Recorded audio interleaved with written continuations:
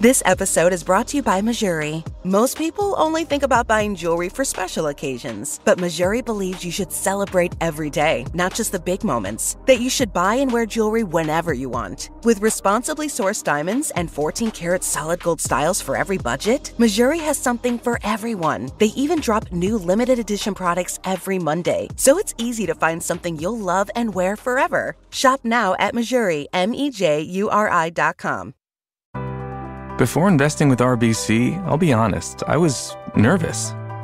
Where do I begin? Was it the right time? Do I even have enough to start investing? With RBC, I realized that, yeah, I did have enough.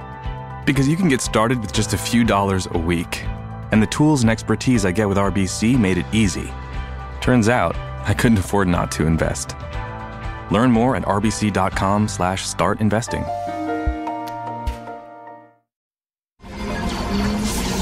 Need a break during your gaming session? Take an ice cold Coke break.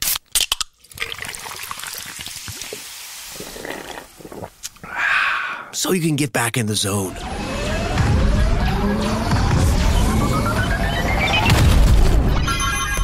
Pause, refresh, keep playing with Coke. Click or tap to find out more. Age of Radio. Takahashi. Ishiro san as I live and breathe. And you do both well, my friend. Well, sometimes I'm up to like two packs a day, so Oh. but uh Oh, jeez. So- nice thing is you can still smoke everywheres here in the late 80s. And that will never change. never ever. You know, I hear it's actually good for you. I I hear that all the time, but bi- big media doesn't want us to know. I don't want you to know. I've done my own research and I know these things. That's how you gotta be. Exactly. So, uh, so I, I've actually been kind of bereft of ideas for uh, for a, for a new movie to make. I don't. I got nothing. I know, but you know what? I'm thinking. I'm thinking Takahashi. Forget movies. I mean, we've done so many movies. Let's just make a commercial. Oh my God! I have just been hit with a stroke of genius. Oh, well, that, that's the best kind of stroke. It is the best kind of stroke, and I like that one I had back in '84. That was, that was terrible. bad. That was bad. That was awful. Um, what I'm thinking is that we make a movie that is essentially a commercial. I'm listening. It's filled with nothing but but product placement. Now, what I'm thinking is that they're uh, that their new uh, uh, uh, Nintendo machine. My kid's got one. He loves it. Oh, right. My kids want a Super Nintendo, but I'm like, I'm not made out of money. No, in fact, we gotta we gotta make we gotta spend the money to make the movie in order for us to make the money in order for us to have the money for them to buy it. But then we gotta put that money into the next movie. That's right. That's our theory. You, Yeah, you- well, that, that- you take what, the money you make and you Yep. put it all back in. That's exactly what Menahem and Yoram taught us. That's and that's what you gotta do. That you can't do. You got to. And so we get uh, what I'm thinking is with this Nintendo thing, they um, I hear they got a new uh that there's uh Super Luigi Cousins game coming out, part three, I think it is. I think so. In 3D, yes. I, I and we get we get them to get on board, and we'll make the whole movie. Uh, uh, around that, and uh, maybe we can rip off like a, you know, another like a way better movie like Rain Man. Oh, that movie's hilarious. I could not stop laughing. The way he abused his brother with autism, hilarious. It was one of the funniest things they put out that year. Oh, oh, oh! Could we get the Wonder Years kid? I think it goes without saying. He is he is uh he is his Q rating is high right now, and uh he probably loves the Nintendo bots. Every kid loves the Nintendo bots. And and we need an adult. So if I may offer, our favorite bridges, The best one, Beau. of course. Yeah. I mean, you you you you're gonna make a movie. You're, what are you gonna do? Put Jeff? I mean, what's he done? Who's I'm he not making an Elvis TV movie from the 70s. right. That's ridiculous. Oh, So- that's Kurt Russell. You, they all look alike to me. Is that racist Anyway. to say? I don't think so. I think it's I think it's all right because uh, they all do look alike. Okay. White people. So, uh, anyways, uh, we we got those guys, and I'm thinking maybe we get um get that Slater kid. He tests really well with the teenage girls who don't play video games. See, this way, if we've got him, the teenage girls are gonna come see the movie. Then we got uh, the the Wonder Years kid. Uh, all the kids are gonna want to come see that. Plus, it's got the Nintendo bots in there. Right. We get we get the we get the Super Luigi Cousins game uh, in there. We get the, that there Ninja Gaiden game that they got. So we got ninjas and stuff in there. We got ninjas and, and Mario Cousins or Luigi Cousins and and and bridges. I think Some we get Zeldas. I we we have to. Yeah. That way, that way, that way, it, it appeals to, to the women audience as well, not just the teenage girls. So if we get all that, cram it. I mean, sledgehammered it. Not even shoehorn, but sledgehammer all that stuff into a Rain Man knockoff, and then we put that into theaters. You know what happens then? That's when the money rolls in. You know when I pick a movie, that's when I'm under pressure now. The question always comes back to me, what were they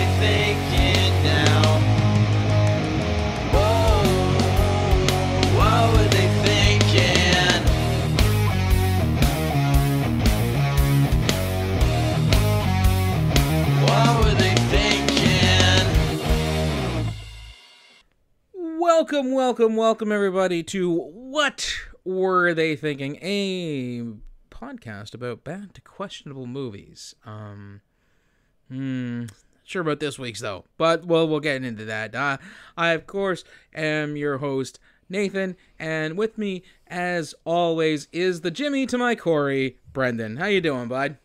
I'm pretty. Oh wait, I mean, I'm You pretty could- good. yeah, you can stop doing that. Whoa, whoa, what happened? you got you got stuck in uh, Takahashi mode. Uh, yeah, well, Ishiro-san, really. Ishiro, sorry, Yeah. Ishiro. I mean, they're very different characters. We should, we should absolutely. really- yeah, drawn out with such uh, rich backstories. Mm-hmm. Mm-hmm. Uh, You've yeah. invested in a lot of good movies. Uh, glad to be here. Thank you for having me on the show. oh, always glad to have a, a guest on the show. And uh, how's that other, uh, you know, that, that show that you do? Uh, you know, with the uh, with the that that whore of a home wrecker. Oh wow. Okay, we're gonna go here already. We're just we're just getting right on this. well, I'll tell you. We just uh, we just talked about uh, at the time of this recording. We just talked about the Hitchcock movie Rebecca, so we're doing pretty good. Oh, okay, cool. All right. Well, I think we fared better with this one though, myself. Uh, because uh, we talked about the we're talking about the Wizard. We watched Of uh, Oz? that- no, not of Oz. The 1990 89 movie. Eighty nine, yeah. uh, with Fred Savage and Jenny Lewis and Beau Bridges and and Christian Slater and Sam McMurray and and Tobey Maguire out of nowhere like an RKO. Very briefly, and I don't think he speaks, No, he doesn't. He just kind of he just kind of stands in the background and but and- he and grins. does have a kick ass mullet. He does, as most people did back then. Yeah. yeah, the uh, yeah the, the the Super Mario Brothers three commercial called The Wizard. It really Uh, is. just I you know I will say this ever like people say that it's it's just a commercial for Super Mario Brothers 3 really it's just a commercial for Nintendo because you don't find out until su- until the end of the movie that Super Mario Brothers 3 is there uh, but you get to see all the other games that they had Ninja Gaiden uh, Zelda Teenage Mutant Ninja Turtles uh, Rad Racer just Double Dragon, a plethora of games. I believe they said 97 at one point. That that's how many. I don't. I think Nintendo may have had more games than that, but I think those were the official ones. It it does feel like at some point though it does feel like in some way though like if there was a shortened version of this, just the leading up to the tournament with Super Mario 3, this might be something they show at like a convention to like introduce that a new game is coming out. Like this little mini movie, you know what I mean? Oh yeah, absolutely. This this actually like that that last section of the competition feels like a presentation from like E3 or Gamescom or something like that. a hundred percent. Like, like not Um, not a not a feature film that would be in No, theaters. no. no.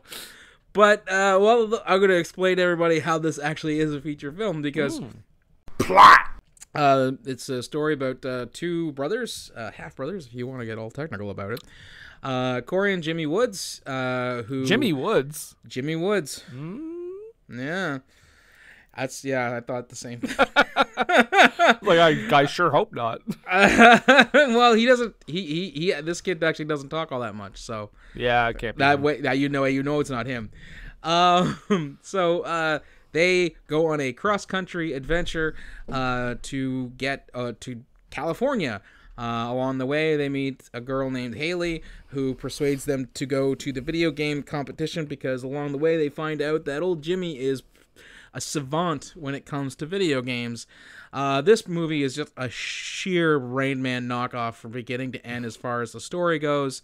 Um, uh, of course, you know the parents have to go looking for the kids.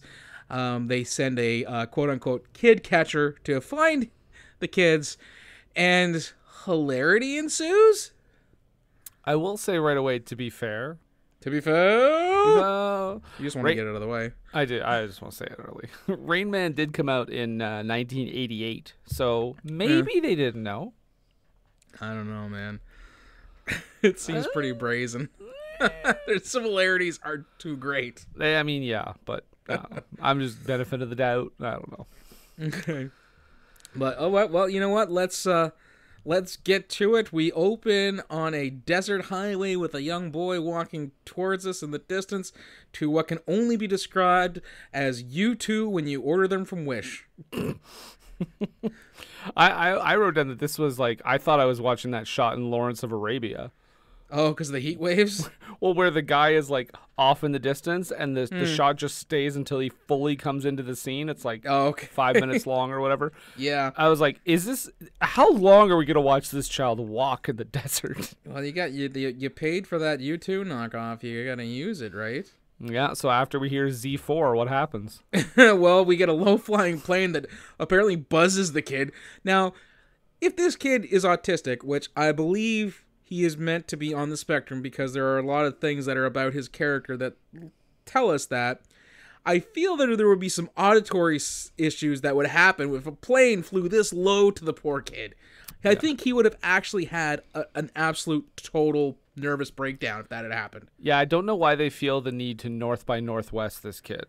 I know. Just just just so they can say, uh, we saw him. He's out on this highway. You better uh, you know send the send the sheriff. And then the sheriff comes out uh, to pick him up and asks him where he's going. He says he wants to go to California. That's great, kid. Everybody wants to go to Cal- California. My wife wants to go to California. They put him in the truck, and apparently, the lady working dispatch is also an expert in exposition because she's like, you gotta take him to his mom's place. The parents are divorced. And it's like, you know, you, we could have just, we, you could have just let that happen, and we would have saw it happen. Any more of the story you want me to narrate, officer? Yeah, he's getting really reamed on the alimony payments. she owns half of his landscaping business. Did I mention he has a landscaping business? I think your radio's broken, Doris. So uh, they, uh, of, of course, they uh, mom is remarried, um, and uh, Jimmy is living with her. Uh, we then flash forward to, I, I don't know, like a, it's he, he's he goes he's not in an institution just yet. He goes to like a, um, an adjusted learning center. Uh, for kids who had been on the spectrum, I don't even know if they they I don't even they even say it once in the movie, but the kid has he's got delays and but he's done he builds like structures and uh, he's very nonverbal. He's got he doesn't make a whole lot of eye contact. All that stuff is just indicative of him being on the spectrum. Quite shocked that this 1989 movie doesn't mention one particular Autism? word. Well, Oh yeah, that was uh, they they- they settled with I think they settled on freak and weirdo. yeah. So I mean, I guess the the safer of the bunch.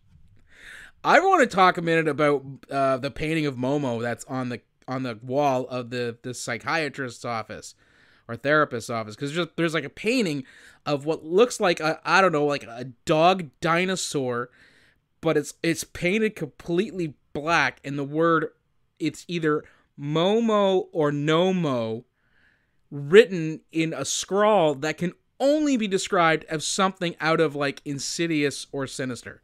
Okay. terrifying. Terror. I want. I want that kid's movie. I want to see his story, or her story, or their story. If we're if I'm going to be inclusive. Exactly. Um, we get to meet the uh, the mom and uh, her husband, played by Sam McMurray. Sam McMurray, when you need a yuppie sleazebag in a movie.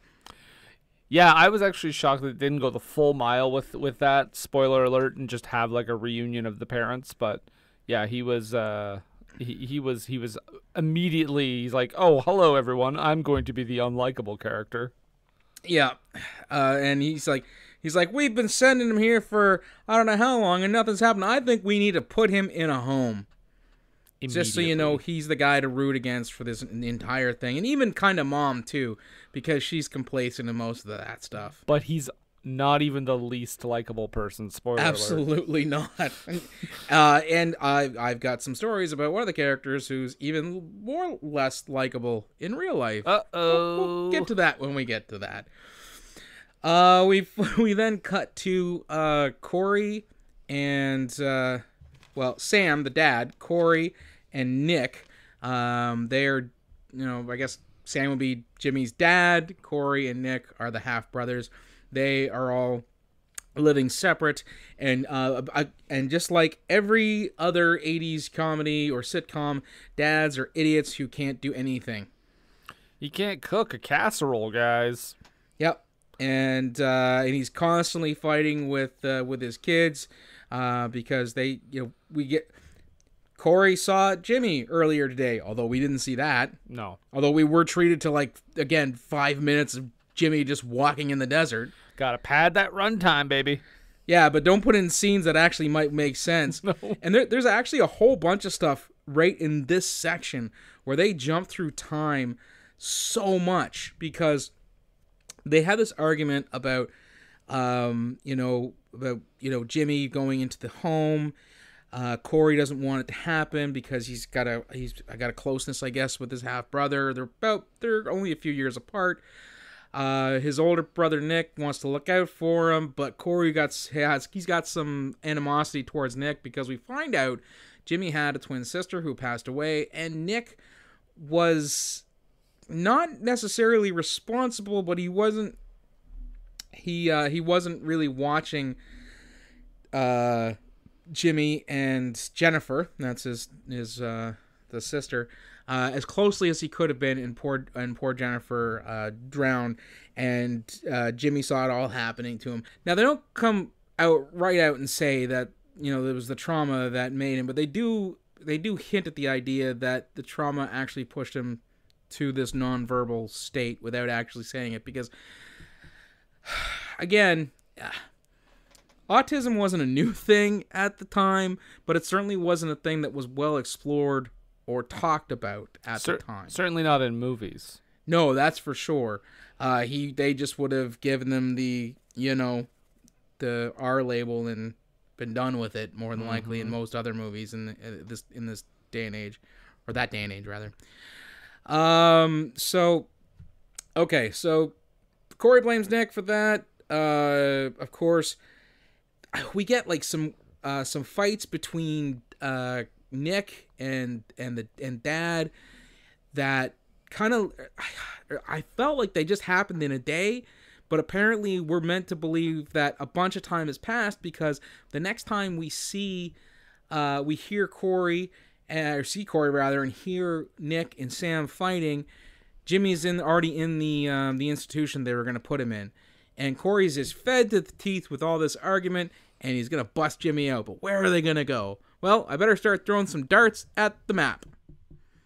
He did not want to go to Alabama. That was that, that was crazy. I, I actually wrote down this part at this point like, "Hey, Fred Savage, who plays Corey, by the way, and has some wonderful eyebrow acting. Uh, it's not picking a random state anymore when you do, you do it like four times and you're like, oh yeah, okay, that one. like he finally lands on California. He's like California.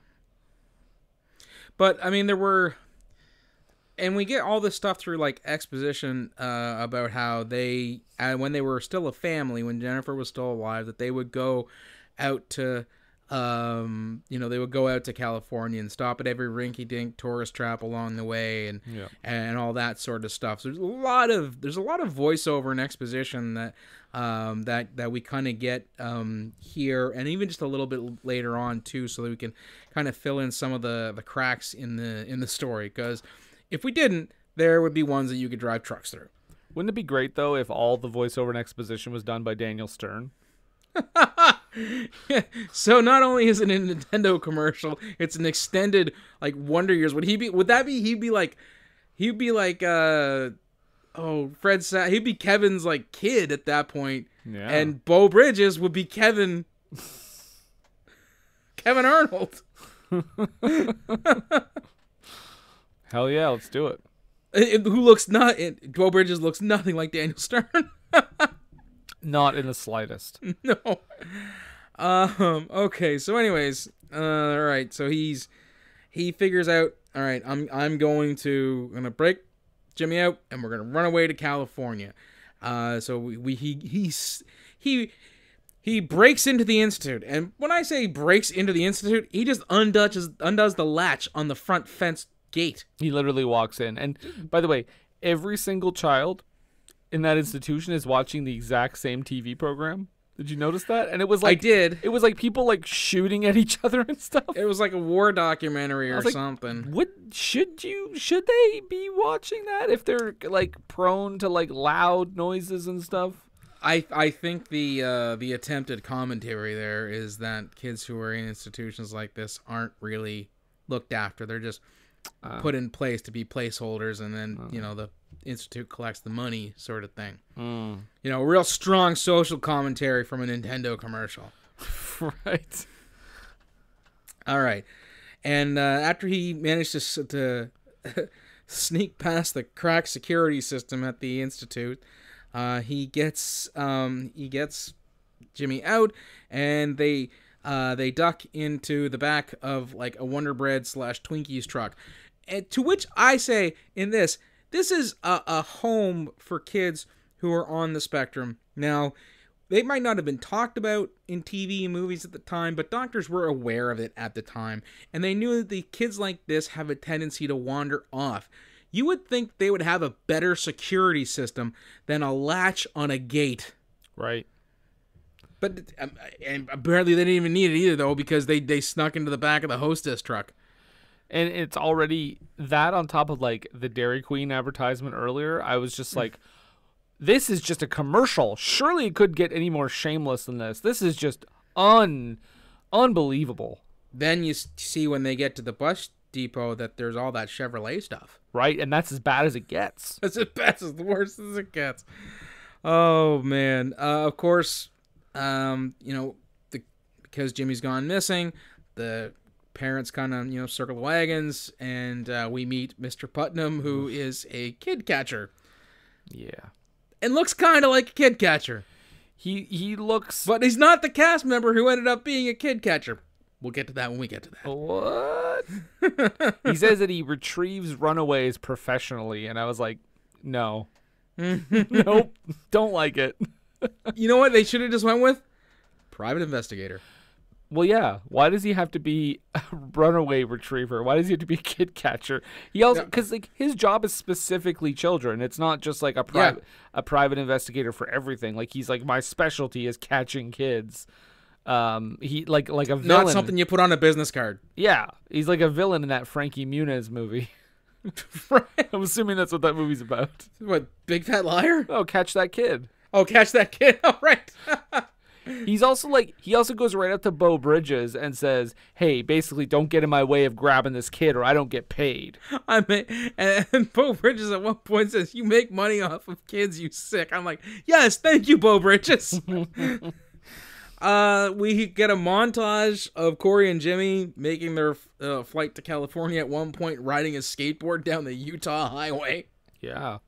Can you do that? I mean, just sit on a skateboard and ride down the Utah highway. Stephen Izzy, get at us on this one. Yes, Stephen Izzy, let us know how often you skateboard on the Utah, Utah highway, or how often. they don't you skateboard; they ride on the skateboard. They sit down and and and coast along with it. They're, they're not pushing foot. How would that even work?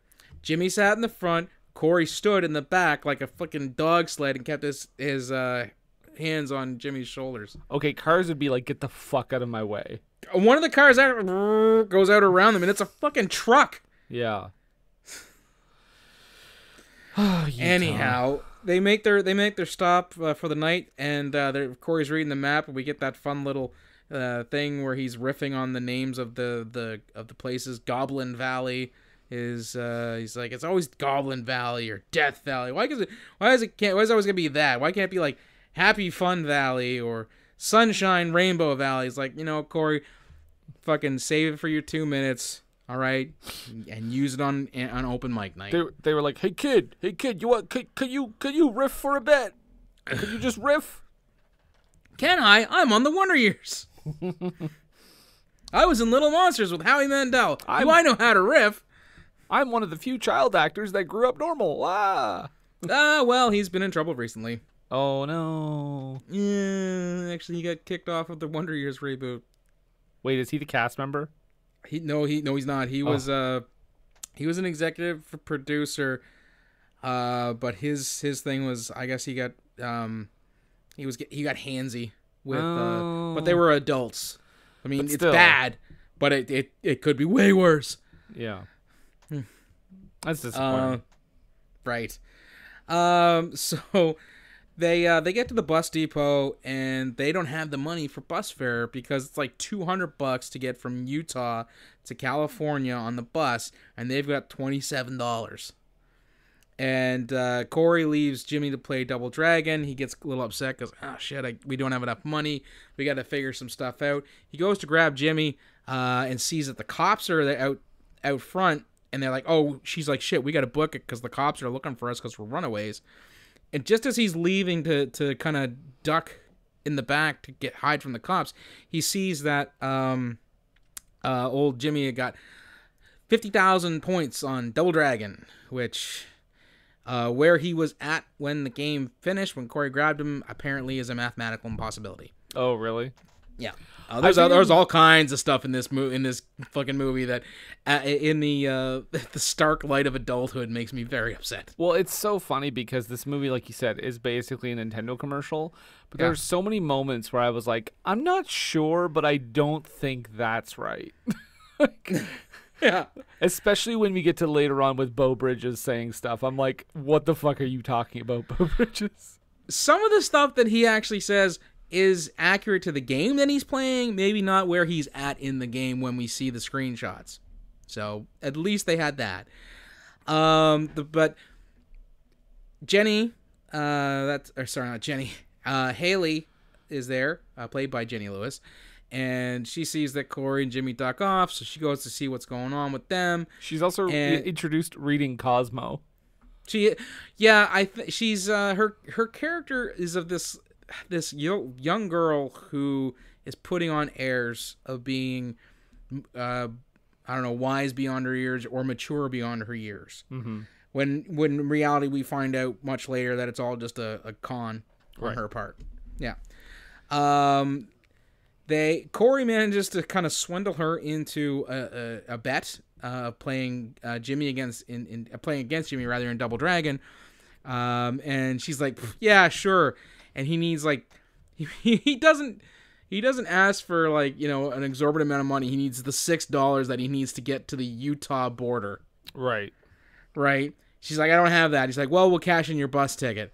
And so they go and they play.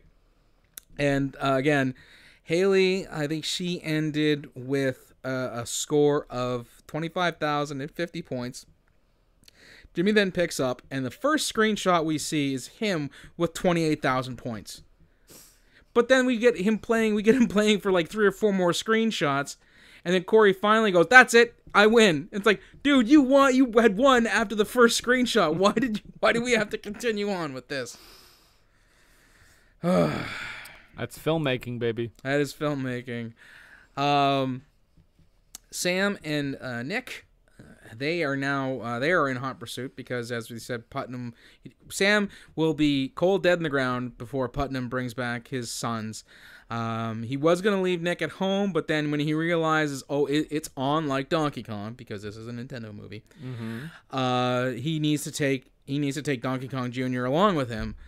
And so they go, and uh, Christian Slater wakes up, and Beau Bridges is eating donuts for breakfast. And he, he's like, What are you eating? He's like, Donuts. He's like, For breakfast? That's disgusting.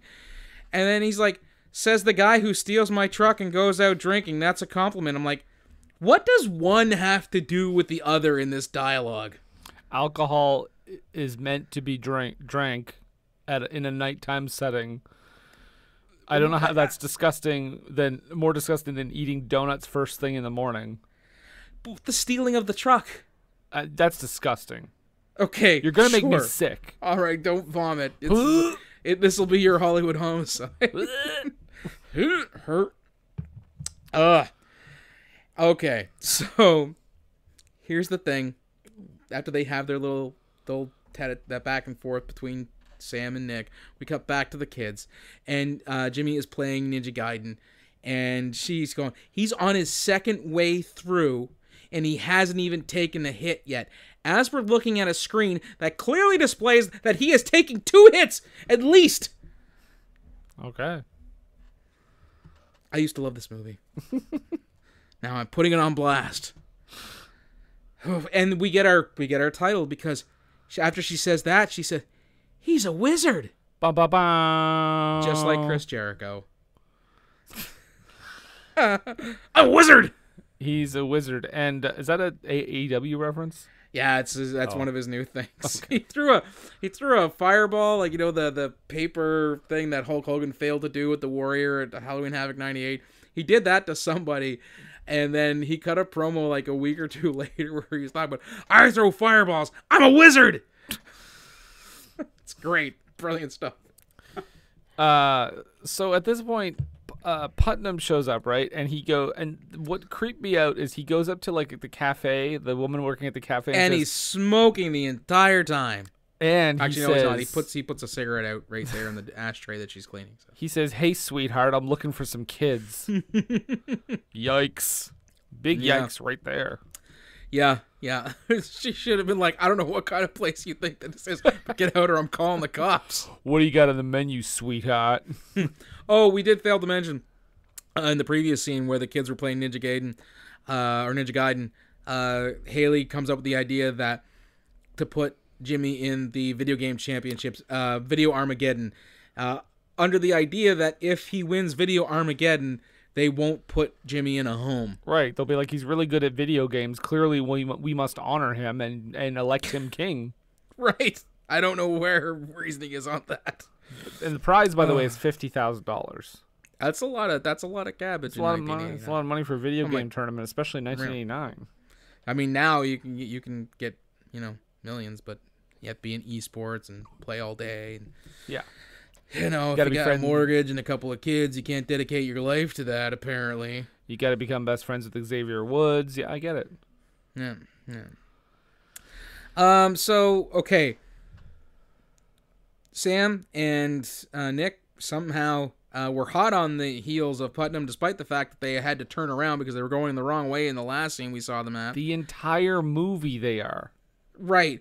He sees them go in. Uh, they're gonna go get some food. He, uh, Putnam he sneaks out and deflates the, the tires or, or slashes the tires rather on uh, on Beau Bridges' truck, and Beau Bridges catches him doing it, runs after him. He's got this little tiny knife that he's gonna fight Beau Bridges. I think Beau Bridges could take him. This could just because of how small the guy is and how flimsily that knife is, but. Beau Bridges isn't having that. He backs off for a minute, goes and gets a shovel, and starts just beating the holy hell out of Putnam's car, breaking lights, breaking mirrors. My question is, why didn't he go for the windshield? Uh, my question is, how did he make it through this whole movie without getting arrested? Oh, there's He commits times so much should've cleared- aggravated assault So like, and, and just uh, between the two of them, actually. on minors sometimes. yes, yes. Uh, so Putnam speeds away, but not before fucking old Sam does a shovel javelin. Like oh, like just throws it like he's in the Olympics and and misses wildly. Imagine if he had done that and there was just a shot of it going like through Putnam's skull. this movie would have taken a, a way darker but awesome turn. Rated R, only for that I don't. one yeah, I don't think they would have got the PG rating that they were shooting for. No. So, all right. But then the kids hitch a ride with a uh, Oh in, a, in a trailer uh, in, in the back of a, of a of a truck with a bunch with a bunch of cows in it. And and Corey asks Haley, "How are you sure you can trust these guys?" And she's like, "I know my dad's uh, my uh, my mom. I'm sorry, my dad's a trucker, and uh, truckers they have a code." And I'm like, "Is she talking about the trucker code?" Or the code of the highway that George Carlin was talking about in Jay and Silent Bob Strikes Back, because this is going to take a really bad turn if that's the code she's talking about. Yeah, if that kid catcher comes back, game over. Yikes. Uh, it's at this point where we find out that at, uh, Haley's mom, quote unquote, packed it in. Mm-hmm. I think it's her it's her euphemism for her mom died. Yeah, but do, I thought she just left. I see. I thought she died. Okay, maybe you know, probably. was. Either way, depressing. Yeah. Oh, and it gets worse. Don't worry. Yeah, because the uh, the truckers who have a code apparently see these. Uh, let's see, I think were they eight and eleven and twelve? I think are the ages. They see their kids counting their singles and decide they're gonna rip them off. They have twenty seven bucks all told, and they, these guys are gonna rip them off. Like man, oh, you, they're they are on the same tier as uh, the truckers from Supergirl. Yeah, they rob a bunch of children for Right. twenty-seven dollars Yeah, and ki- and kick them off and leave them in the middle of nowhere to die. and Leave- there was at one die. point where Corey drops the money so Haley can grab it. The guy who's accosting her then reaches down to grab the money. She could have clearly kicked him in the throat.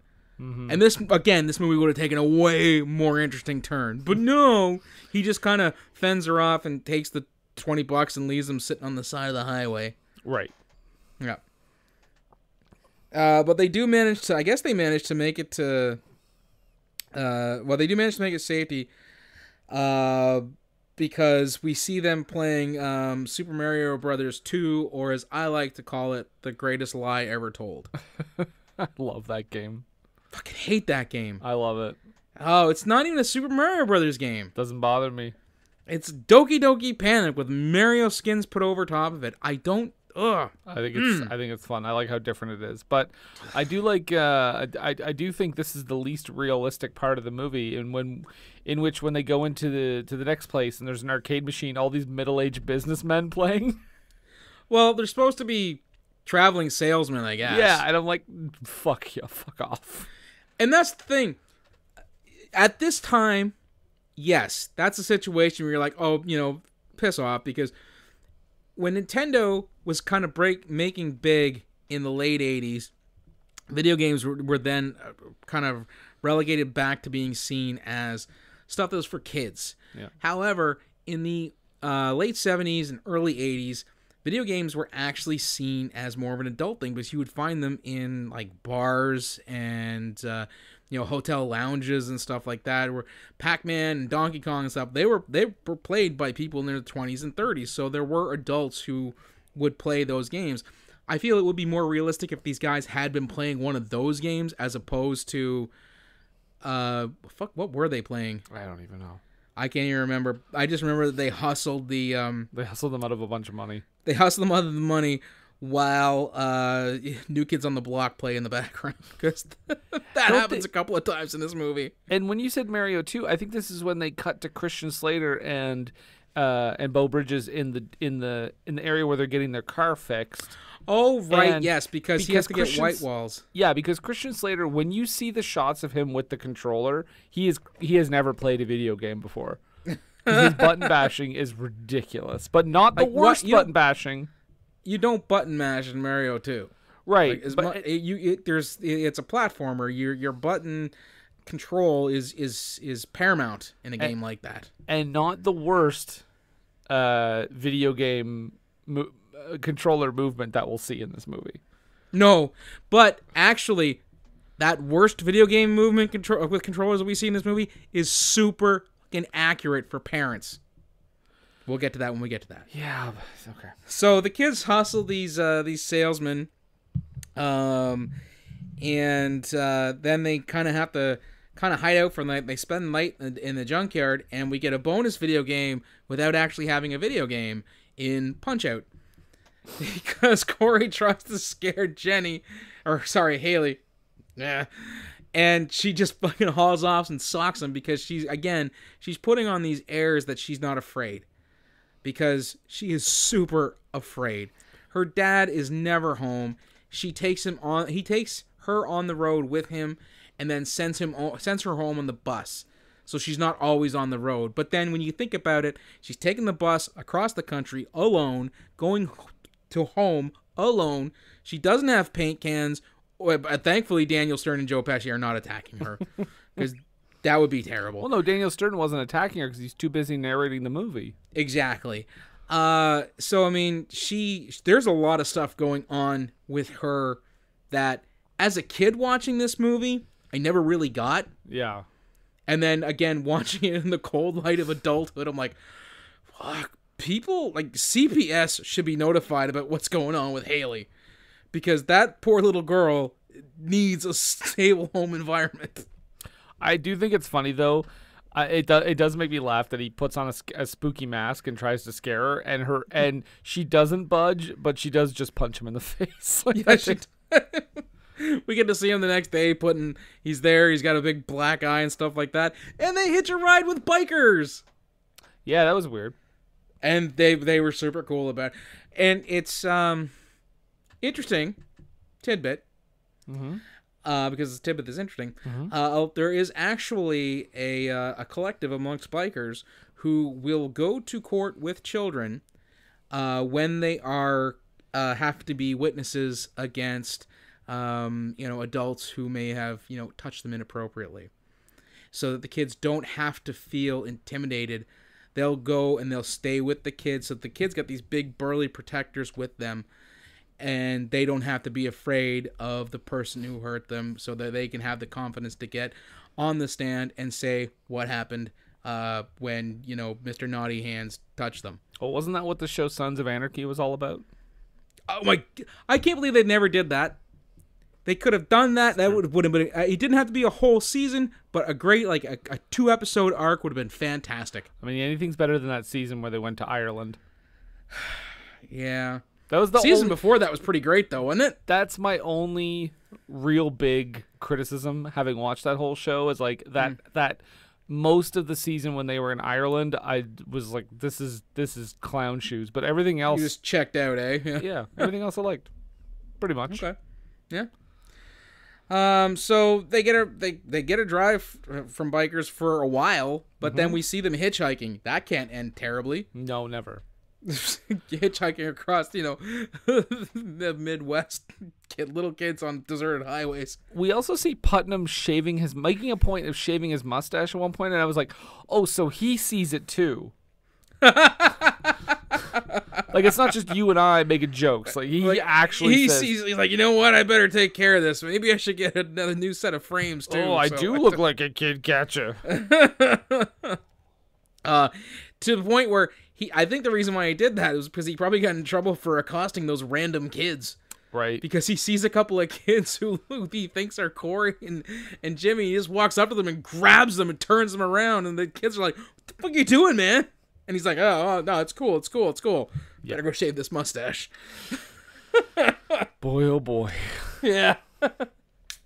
so, uh, we did get a, a fun. I thought this. I, I think this is an Easter egg to uh, One Flew Over the Cuckoo's Nest, but I might be I might be reaching because we see the kids. They catch another ride uh, with some folks in a in a truck uh, in the back, but they're sitting with some some nat- there are some native folks who are just kind of sitting there, and the kids are staring at them.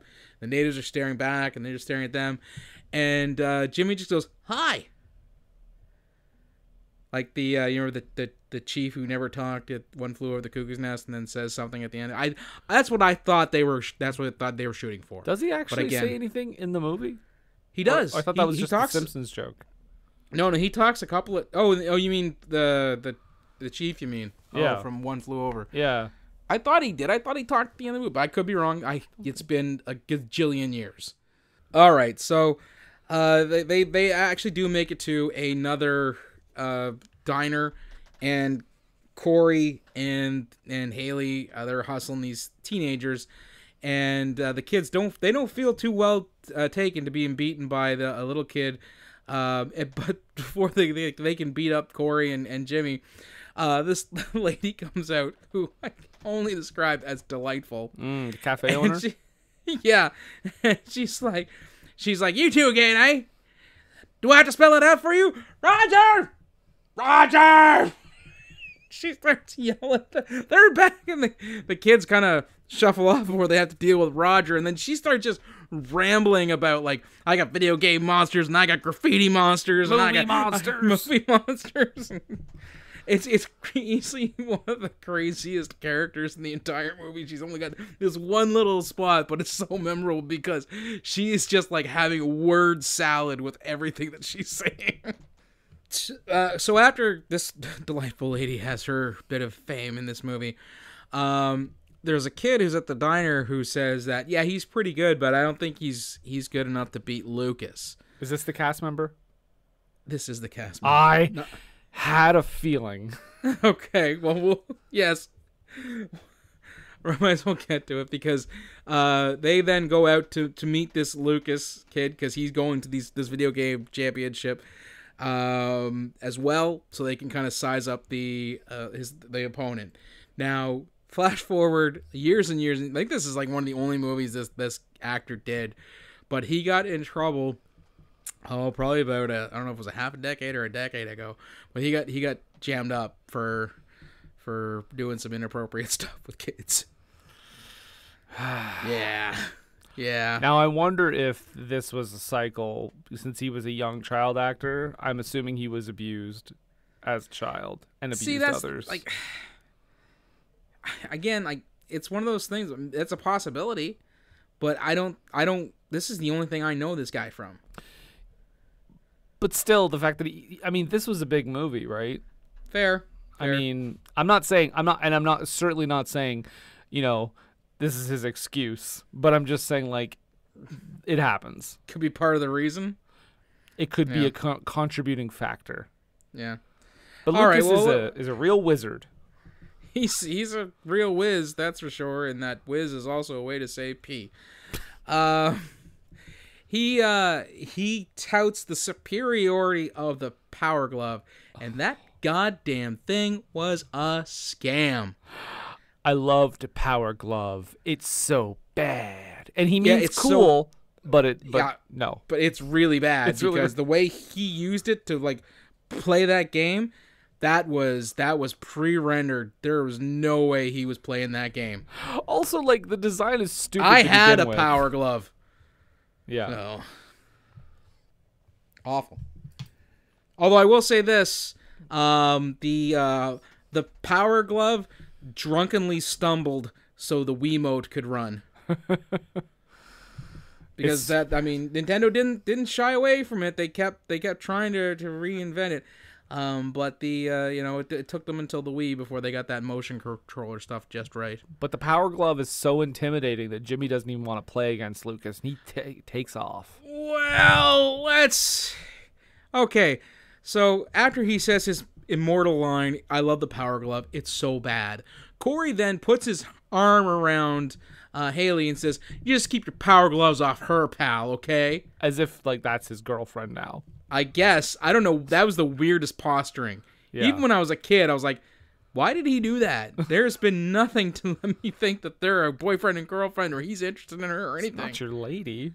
right so and that's when jimmy kind of runs off um uh haley then later kind of figures the reason why he didn't play jimmy wasn't because he was in or sorry jimmy doesn't play lucas wasn't because he was intimidated by the power glove was because that he was he was jealous of her. Right. because you know Corey put his arm around her and he was like you know he thought that you know someone else was taking his place with, with Corey. I don't know something like that I, I will say this before we get too far like till we get past the power glove Uh, I have did find out recently, probably in the last few years, that the Power Glove was actually supposed to be considerably more accurate and better, but Mattel got involved and wanted to make it as cheaply as possible. So all like the gyroscope stuff, all the stuff that they had that they had they had you know kind of um, cutting edge technology that was put into the original design of the Power Glove was chucked for that like considerably cheaper alternative they did. It, had this thing you had to set it up on your TV, and it apparently worked with like like uh, subsonic sounds that would come out of the Power Glove to, that would tell these sensors, which would plug into your Nintendo, where your Power Glove was in relation to the screen, and then would move your character accordingly. It didn't work. The only thing the Power Glove ever did was look kind of cool as an accessory. Right. That's it. I bought one of those things, for 15 bucks at a flea market, and still felt ripped off. And also considering that I think it was like almost 100 bucks for the peripheral when it originally came out. You imagine your parents paying that, and then you play it, and you're like, "This thing sucks, and I'm never using it," but I can't let my parents know that. That's that's that's the tough part, right? Yeah, Yeah. yeah. Um, is this where they cut to? Okay, I know the scene is coming up because Christian Slater and Beau Bridges are still on the road, and they cut to them staying at a hotel. Mm-hmm. Christian Slater has his road road Nintendo with him. Well, that's just- it. Was Corey's old one that he had fixed, and they're staying in the grossest fucking room. it's just like when AJ Styles takes his PS4 on the road or whatever. Why not? Apparently, he does. That's a good idea. He should just get a Switch. I mean, they're much more portable. I mean, I think he does probably have a Switch. He's a gamer, right? right. But um, he he sets up his Nintendo. He plugs it in. Christian Slater's playing it for a bit, and then Beau Br- and then he wakes up in the morning to Beau Bridges playing it like a madman, and just the button mashing is so crazy. Like But he is playing Teenage Mutant Ninja Turtles, and there are boss fights in that. But he's not in a boss fight. But there are boss fights in that in that game where you be be button mashing. I'm assuming that though that you are talking more about the the flailing of the controller up, down, left, and right, like that is going to move his character around. I just think it's like I just think it's like bad video game playing acting that I see in so many No, movies. no, I will I will attest to this. As a kid who had original Nintendo and had friends who had the original NES, I have seen my parents and other friends' parents play Nintendo, and they invariably, every single one of them, play it, and then they start herking the controller to the left and up, or to the right and up, thinking that that's going to help their character jump better. Meanwhile, they're practically pulling the Nintendo off the shelf. Again, parents, I think, helped in the development of the Wiimote. I I don't think that thinking went into this though. I think Beau Bridges just grabbed the controller and was like, "I don't know what I'm doing." I don't know. I, I think, say, you- I- I I think you're will- giving I- them a bit of credit. I was if if if that's the case, it's a happy accident because I have seen parents play video games like that. and then the first of four million character breakup scenes. We do like we do find out that that's where we found out that California was a tradition. Yeah, you're right.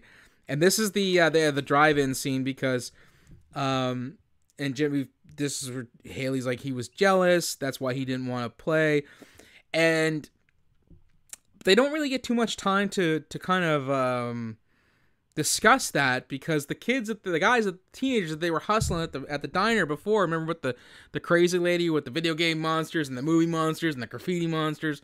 Well they show up and they just start wailing on these kids too.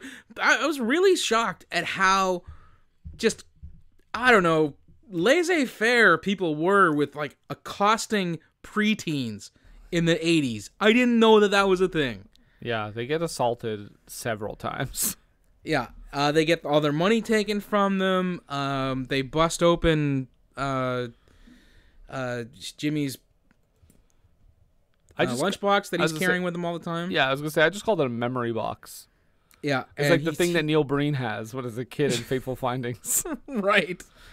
Uh, they they and they take his, they take the poor kid's hat, and this is where you know uh, Corey's like, "That's it. I'm calling it parents. I'm going back to Utah. This is bullshit." We're stuck here. We've got no money. And then Haley gives him shit about quitting. They kind of both walk separate ways. As you said, character breaking up. And little Jimmy just goes, Corey, I don't want to quit. And they're like, And they- yeah. They they freak out and run and talk. Like, he talked. And I was like, dude, he talked when you guys were in the truck with the natives. he said hi. Yeah, why didn't you guys freak out then? Uh, Putnam questions more kids in an arcade and comes off like a real creep again. Oh my! It, it- but it's not the worst time he does it because all he does is he tilts this poor kid's uh, pinball game. Not cool. Not cool at all. And then uh, Beau Bridges and Christian Slater are right there, and Beau rams his car, and that's when he that's when he Oh my says to him, he says to him, "You make money off little kids, you ought to be shot." yeah, yeah, yeah. they just they his truck gets absolutely trashed.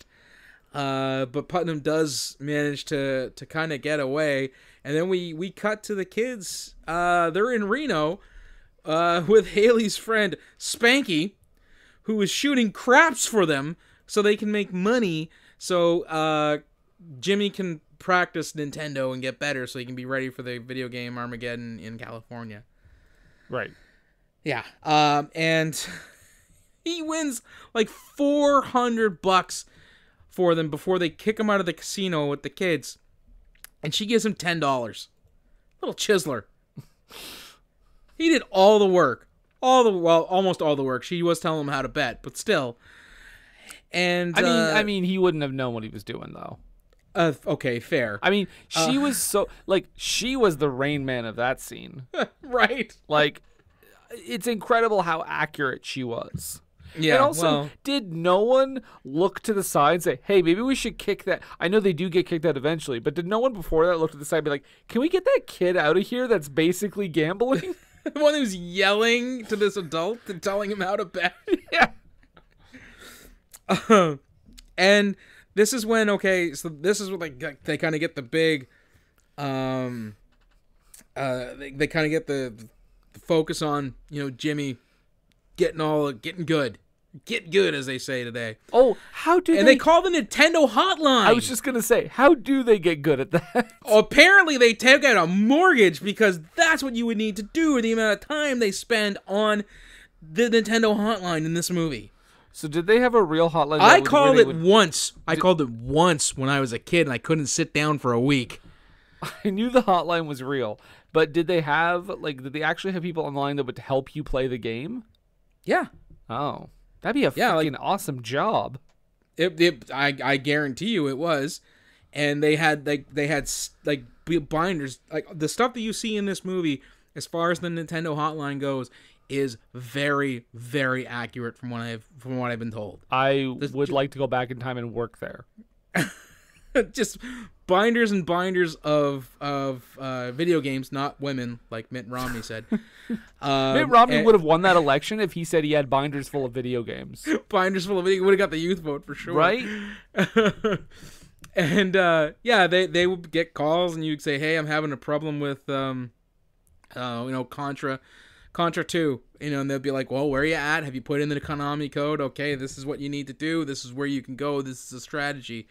And it was, I think it was like two bucks a minute.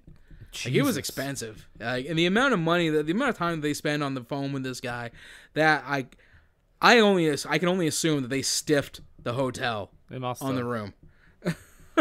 Well, yeah, because like, yeah, they. I mean, they spent a whole montage worth of time. Yeah, we do get to see uh, a cigarette girl that is a that for in the arcade, who is like maybe a year older than Corey, who's walking around with a tray that she's selling licorice and soda pop, but she's dressed like a Vegas uh, a lounge waitress, which I was very uncomfortable with. I was gonna say there were multiple child employees in this place. yes, yes, child labor apparently not a thing in Reno, Nevada in the in the late eighties. No worries, it's America. Right. we get another shot of Ninja Gaiden, uh, Ninja Gaiden, and every time I see that fucking game, I have post-traumatic flashbacks. Like that, it's a great game, but it is fucking punishingly hard. Oh, Af- Like as you get later into the game, it gets really, really brutally hard. One of the biggest piss offs is that like the enemies would respawn Uh, so if you killed something and got hit, but got hit by something else, that thing would knock you back, and then you would move forward again, and that enemy that you killed before was there again. Fun. Yeah, yeah, and birds that just swoop in and hit you mid jump and knock you back and off a platform. Ooh, Ninja Gaiden. Remember when you couldn't save games, guys? Oh yeah, and hey, guess what? Uh, if you got a game and it sucked, there was no day one patch. You got it, it sucked, it sucked forever. No fixing it. None. Unless you're a PC gamer, I suppose. Anyhow. Uh okay, so under the cigarette girls, right? Ninja Gaiden. We get another we get another roadside confrontation with Putnam, and this is where he has uh Sam's truck towed away, doesn't he? Yes. and he's just gone. Uh, he they have a but that happens while they're inside, uh, and they see a, the one of the the kids who accosted Corey and uh, Jimmy and and Haley at the drive-in wearing the Woods landscaping hat, and he's like, "That's his company's hat. Where'd you get that hat?" And they they they're they're gonna beat this kid up. Oh, Beau Bridges is ready to assault a minor. Right. But um he's he does get stopped because uh, Lucas is there. Lucas is there to tell tell him where the kids are heading. Right. And then he's like, "Okay, well we're gonna we're not gonna assault this kid. We're just gonna take our hat back and leave." And they go to go out and get in the truck, and it's been towed away. Because Lucas's motivation is that he's also going to the video game tournament and he knows how good Jimmy is. And if he can get Right. Jimmy out of there, he'll do Actually, it. Actually, he doesn't know how good Jimmy is, but he's concerned. He's concerned. He's is. he's worried about Jimmy being in that tournament. Yeah. yeah. But yeah, their And, truck uh, is gonzo. right. And then they take it to the it gets taken to the junkyard. Okay, can we just get into this for a second? one second before before we do that because we do have that but we do um actually no go ahead get into that yeah no, Okay, I'm just gonna say it gets taken to the junkyard. First of all, Putnam just tells this guy, "I'll give you fifty bucks if you take this thing to the junkyard." I okay, fine, whatever. But then when it gets to the junkyard, they start just stripping it for parts, and their and their whole thing is like, "Well, the guy told us to take it." it was a wreck Yeah, he but said I'm it was like, a wreck so i towed it away but I'm like, so you just took the word of that guy? I don't know. It seems like this this Here- junkyard's gonna end up in some legal hot water. there should have because it, he should have been like because if Putnam was like it's it's a junker it's a wreck I need you to tow it away the first thing the guy says do you have the registration papers for that Right. And I, But- gu- I guarantee you, fifty bucks is not worth not seeing the registration papers. yeah let's let's not get into that whole thing because we got we got a movie to make here that gets towed away and it's gets it's been stripped down so they begin the large the arduous task of rebuilding the truck ridiculous the most unbelievable thing in this movie outside of some of the video game screens that we see And that's saying a lot. and that is saying a lot. Um, we then cut back to the kids who are apparently I don't know are they doing like side hustles, getting more money because they are just blowing money on stuff on like uh you know uh, fake eyeball things to put in like your drink and and like Groucho Marx glasses and jackets and stuff like that. And it, it's just I don't know what the purpose of this scene served. I don't know, but Putnam comes back at this point, Oh my god. and he finally finds them because uh, some some woman tips him off. By the way, he goes up to some kid. Oh no, this is the oh my god, Yeah. this is the worst because he does. Yeah, he he he's first he starts at, he's asking around and there's an old guy at the bar at the pool where he's at and I was traumatized. It's this old guy in a blue speedo and when I say old, I mean your grandpa old and not your fit jacked grandpa old. I mean your you know Wilford Brimley aged and shaped grandpa old in a blue speedo diabetes. just s- uh, blue sack that's that's all you could see I, I was i was surprised i was able to take notes in this scene because i was too busy oh, I think you say because you were too turned on. Mm. I was far too hard to write notes down. I, I thought you were gonna say the scene that this part that got you because this this disturbed me is when he goes up to this kid and he's basically like shaking him down, asking, or you know, he finds Corey and he's like shaking him down, like, "Where's Jimmy? Where's yeah. Jimmy?" And this woman is like, "Oh, he's over at the arcade." Yeah, because before that, he's given this sob story. He's like, "Oh, have you seen these boys? One's my, they're my sons, and they're they've run away, and and, and one of them's got special needs, and I- I'm really really worried to death." He sees Corey, turns around and says. Where's your little freak brother? I've been looking all over you, little, little bastard. Where's your little freak of a brother? And, And the, the, the lady woman he- still helps him. Yes, the woman he just talked to witnesses all this, and still is like, "This is a, a, a pillar of society that I'm helping." even if she's still believing that the kids are his his sons, I feel at this point she should be like, you know what?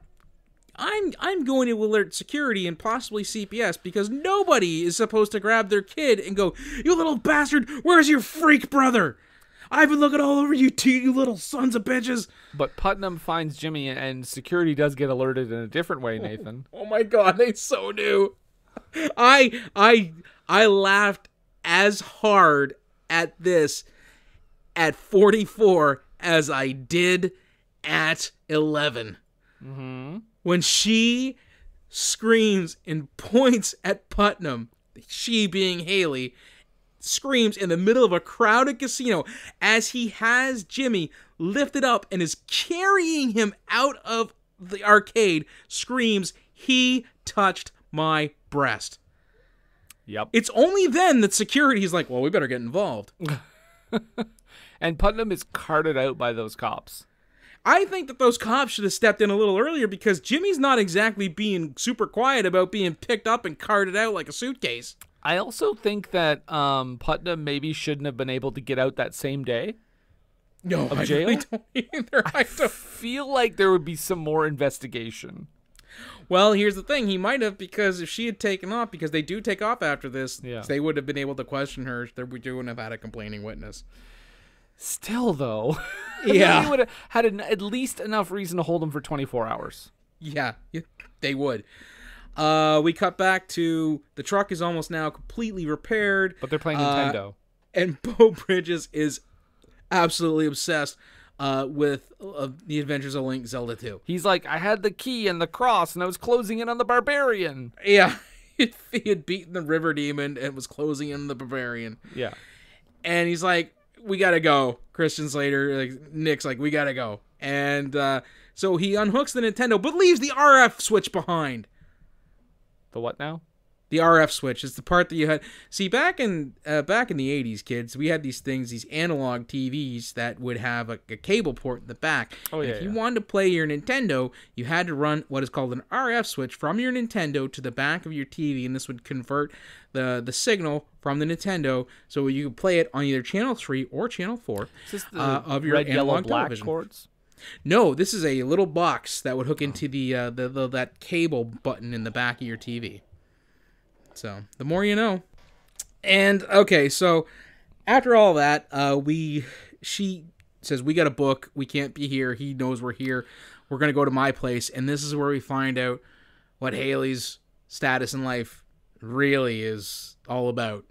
Her mom was a gambling addict. That's how she knows all about gambling.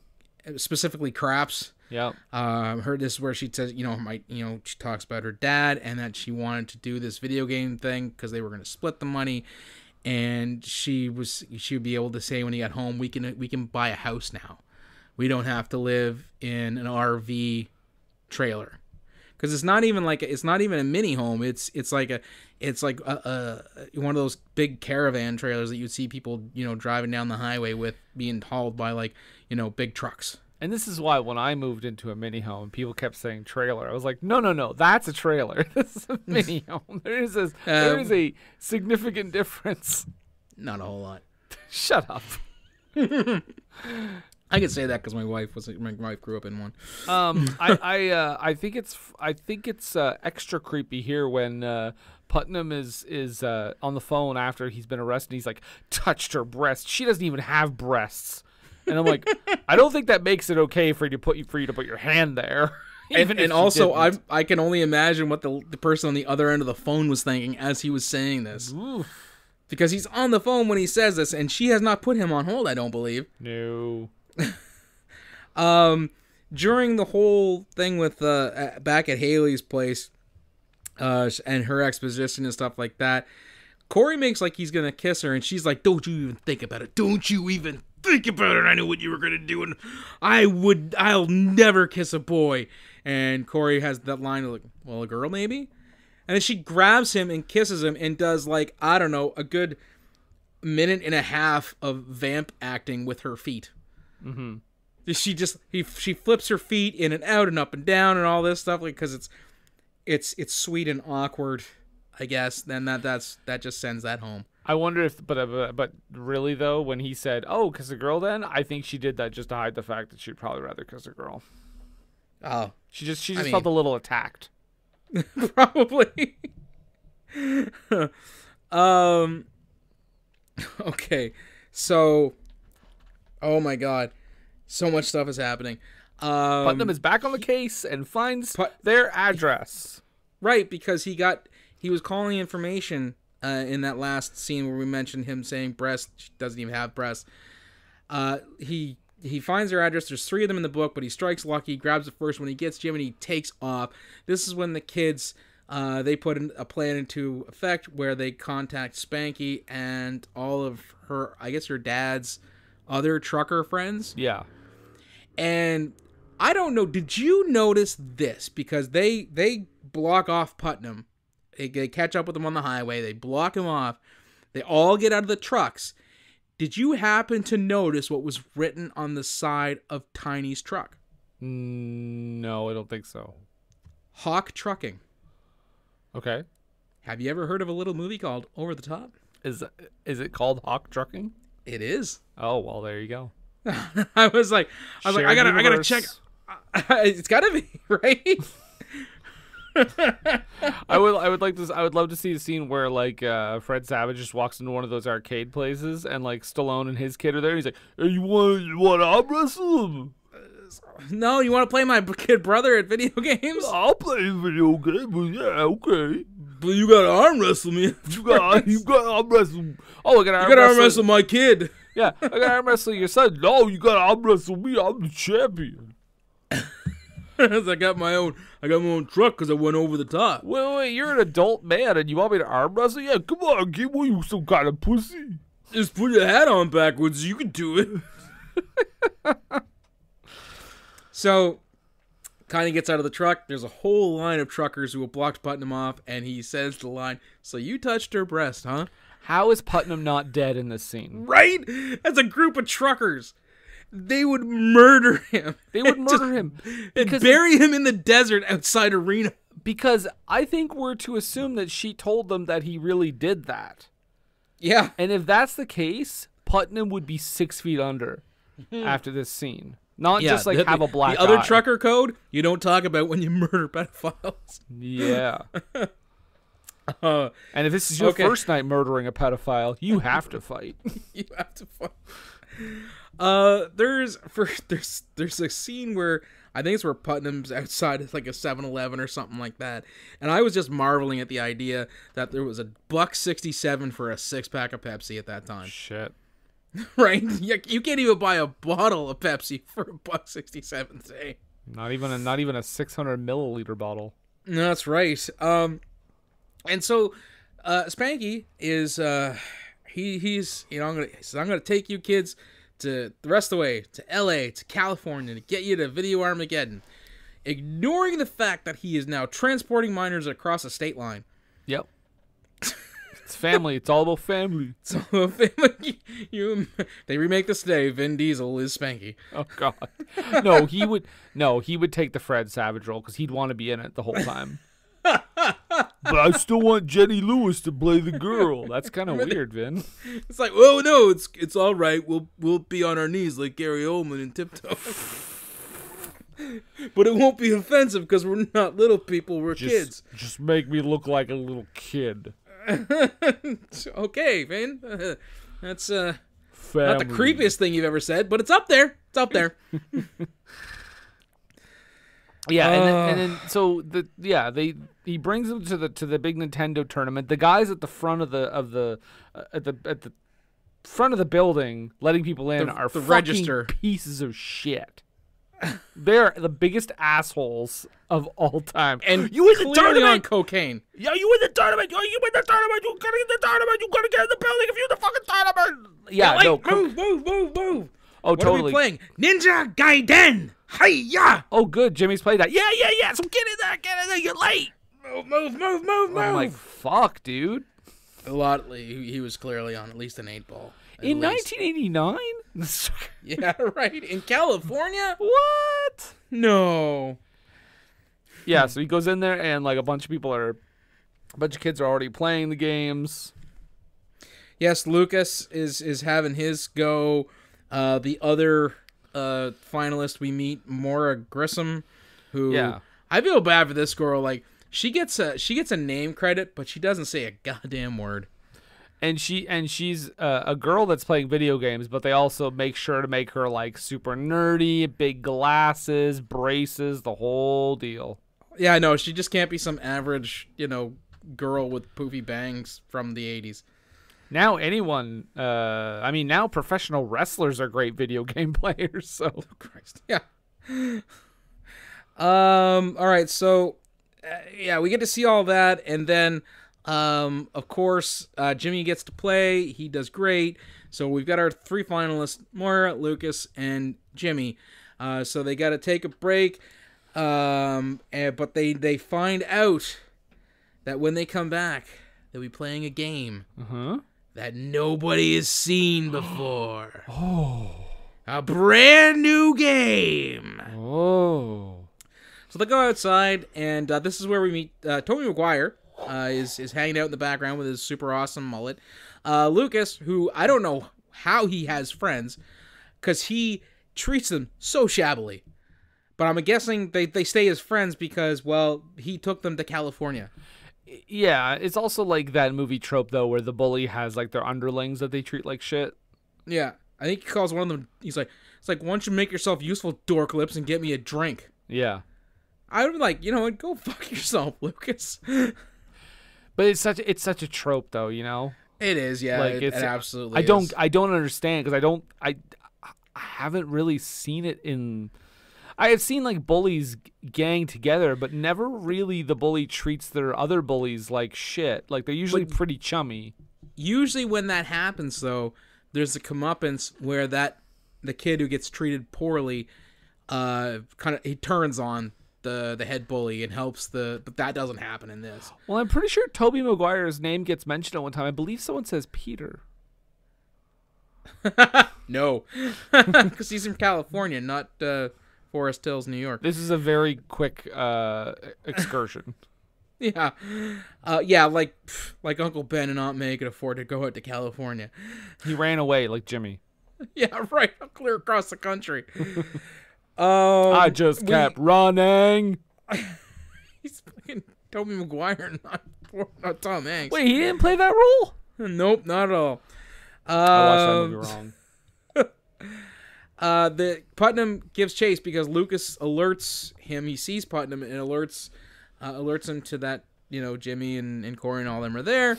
Uh, so they they chase uh, through like the Universal tour uh, ride. We've got the the tour guide who's being like funny and stuff, saying they're filming a movie with Pee Wee Herman and Zsa Zsa Gabor. Gross. And it's like, I don't know. I I think I would have paid. To, I I would have paid to see that on video for sure. Big Pee Wee Herman fan back in the day. um, and but they, they this this chase. Well, I don't know it's so much a chase because they they jump on the tram, and they go into the King Kong ride, uh, where uh, Sam and Nick follow as well. Uh, also, uh, uh, Sam. Speaking of Sam's, Sam McMurray uh, and Christine, that's the mom. They've made their way to California as well, and they're giving Putnam shit because he hasn't found their kids. He's like, "You said you'd have them within hours. It's been three days." All that.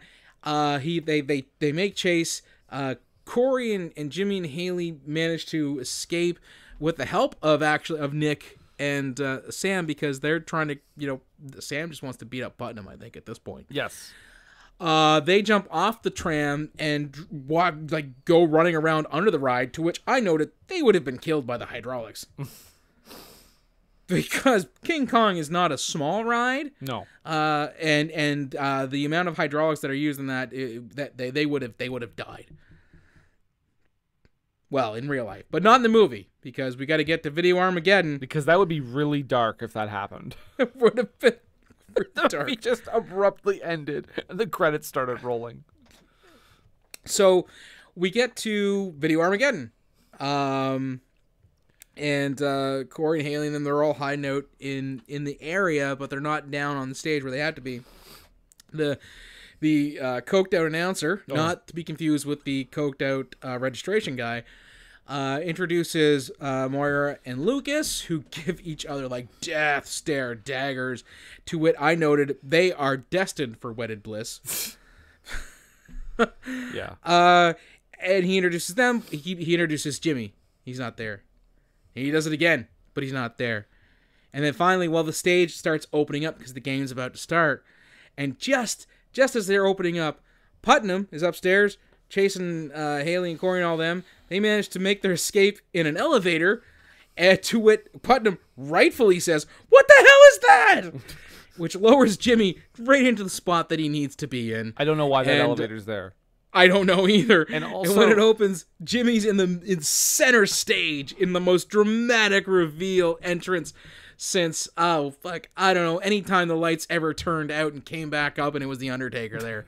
Also, like, it would have been funny if, like, because he was supposed to be in his, like, spot before the doors opened. It would have been funny because Yeah. the doors opened. The host is like, oh, there's Jimmy. But it would have been funny if the doors opened after the countdown and he said, hey, it's Jimmy. I'm sorry. That's not where you're supposed to be. You're disqualified. Disqualified. he has to go back to Utah with no money. but no, that's not what and then happens. Lucas and Moira just get married. They find out the game. What's the game, Nathan? The game we don't know anything about. The brand new It's game. Super Mario Brothers 3 and you have to play it using a joystick, which is bullshit. Fuck that shit. You I know how would hard that game is to play with a joystick? I would do terrible. everybody with your terrible. You need that. You need that. That dog bone controller. That D-pad's got to be there, baby. Hell yeah. So, all right. So let's get to the. It's game on, and um, there's a lot of stuff. A lot of stuff that's coming up that really. That really- even, it doesn't. so as a kid bothered me. So even as a kid bothered me, because there's a points where Corey and Haley are shouting out about secrets in the game. The game that they haven't seen yet. Oh, you mean when they're yelling, "Get the get the warp whistle"? Yes. And even though this game is literally appearing for the first time, I believe appearing in this movie before it was even released to the public IRL. uh, in in America, yes. Yeah. The only explain away thing that I can think about is that at some point along their travels, they there was a, a there was a Nintendo Power issue where they talked about the upcoming Mario Brothers 3 game and had screenshots. But you think if that was a thing, they would have included it as a scene in this movie. And they don't. Yeah. But they do have weird like things that like again, yes, things that don't make sense because the game doesn't exist, but also things that aren't even true because they're like, get the star, get the mushroom. Like I get, I get because they're when he's playing the matching game and Oh, all yeah, that stuff. the- but like, but like the points are weird. Like it's like whoever has the most points. Like I think that's a weird way to do. Why not just have them say whoever gets the furthest in the game? Well, that's how Video and Arcade Top 10 back in the day on YTV used to decide whoever's the farthest wins, but if you're both on the same world, the person with the most points wins. Sure. Okay? That's and that's an absolutely fair system. But no, this is all just points, which actually says to me like if someone could figure out a way to to spam just jumping up and down on a shell like you do at the end of uh, World uh, 3 1 in Super Mario Brothers, the first one, you could just sit there and get point after point after point and win by doing absolutely nothing at all. Jimmy gets killed by a boomerang brother, which I would have just noted. Way to go, stupid! I thought you were good at video games. Um, and then there's several times, several times where someone dies and has to go back to the start of the world, and it's world three. Uh, sorry, it's level three of world one. But the announcer keeps saying it's level two. And I got so angry. More than I should have. I should probably talk to a professional about this, but he kept saying, and she has to go back to level the beginning of level two. And I'm like, it's three. It is three. Also, fucking Jimmy uh gets a flute and he because apparently he knows where it's at. But the next thing they show is him coming out of World 5, level 5 rather, of World 1. And the flute is not in level 5 of World 1. It's in the first, like, you know, pre castle. Where you gotta fight the boom boom, but you don't fight the boom boom. You have your, you know, your Tanuki suit or a raccoon feather, and then you fly up and you go and you get the, the thing, and it ends the castle prematurely. Nathan, Nathan, Nathan, Nathan, Nathan. You, you want you want to hit this shit? Here, hit this shit. Just just hit it. Just hit it. You feel better? You feel better? Smooth. Is that a indica? Just a little, a little bit of column A, a little bit of column B. Oh, it's a hybrid. Very nice. Very nice. Just like a car. Okay. All right. You good? Yeah. You all I think I'm okay. Okay. Yeah. So super accurate uh, video games.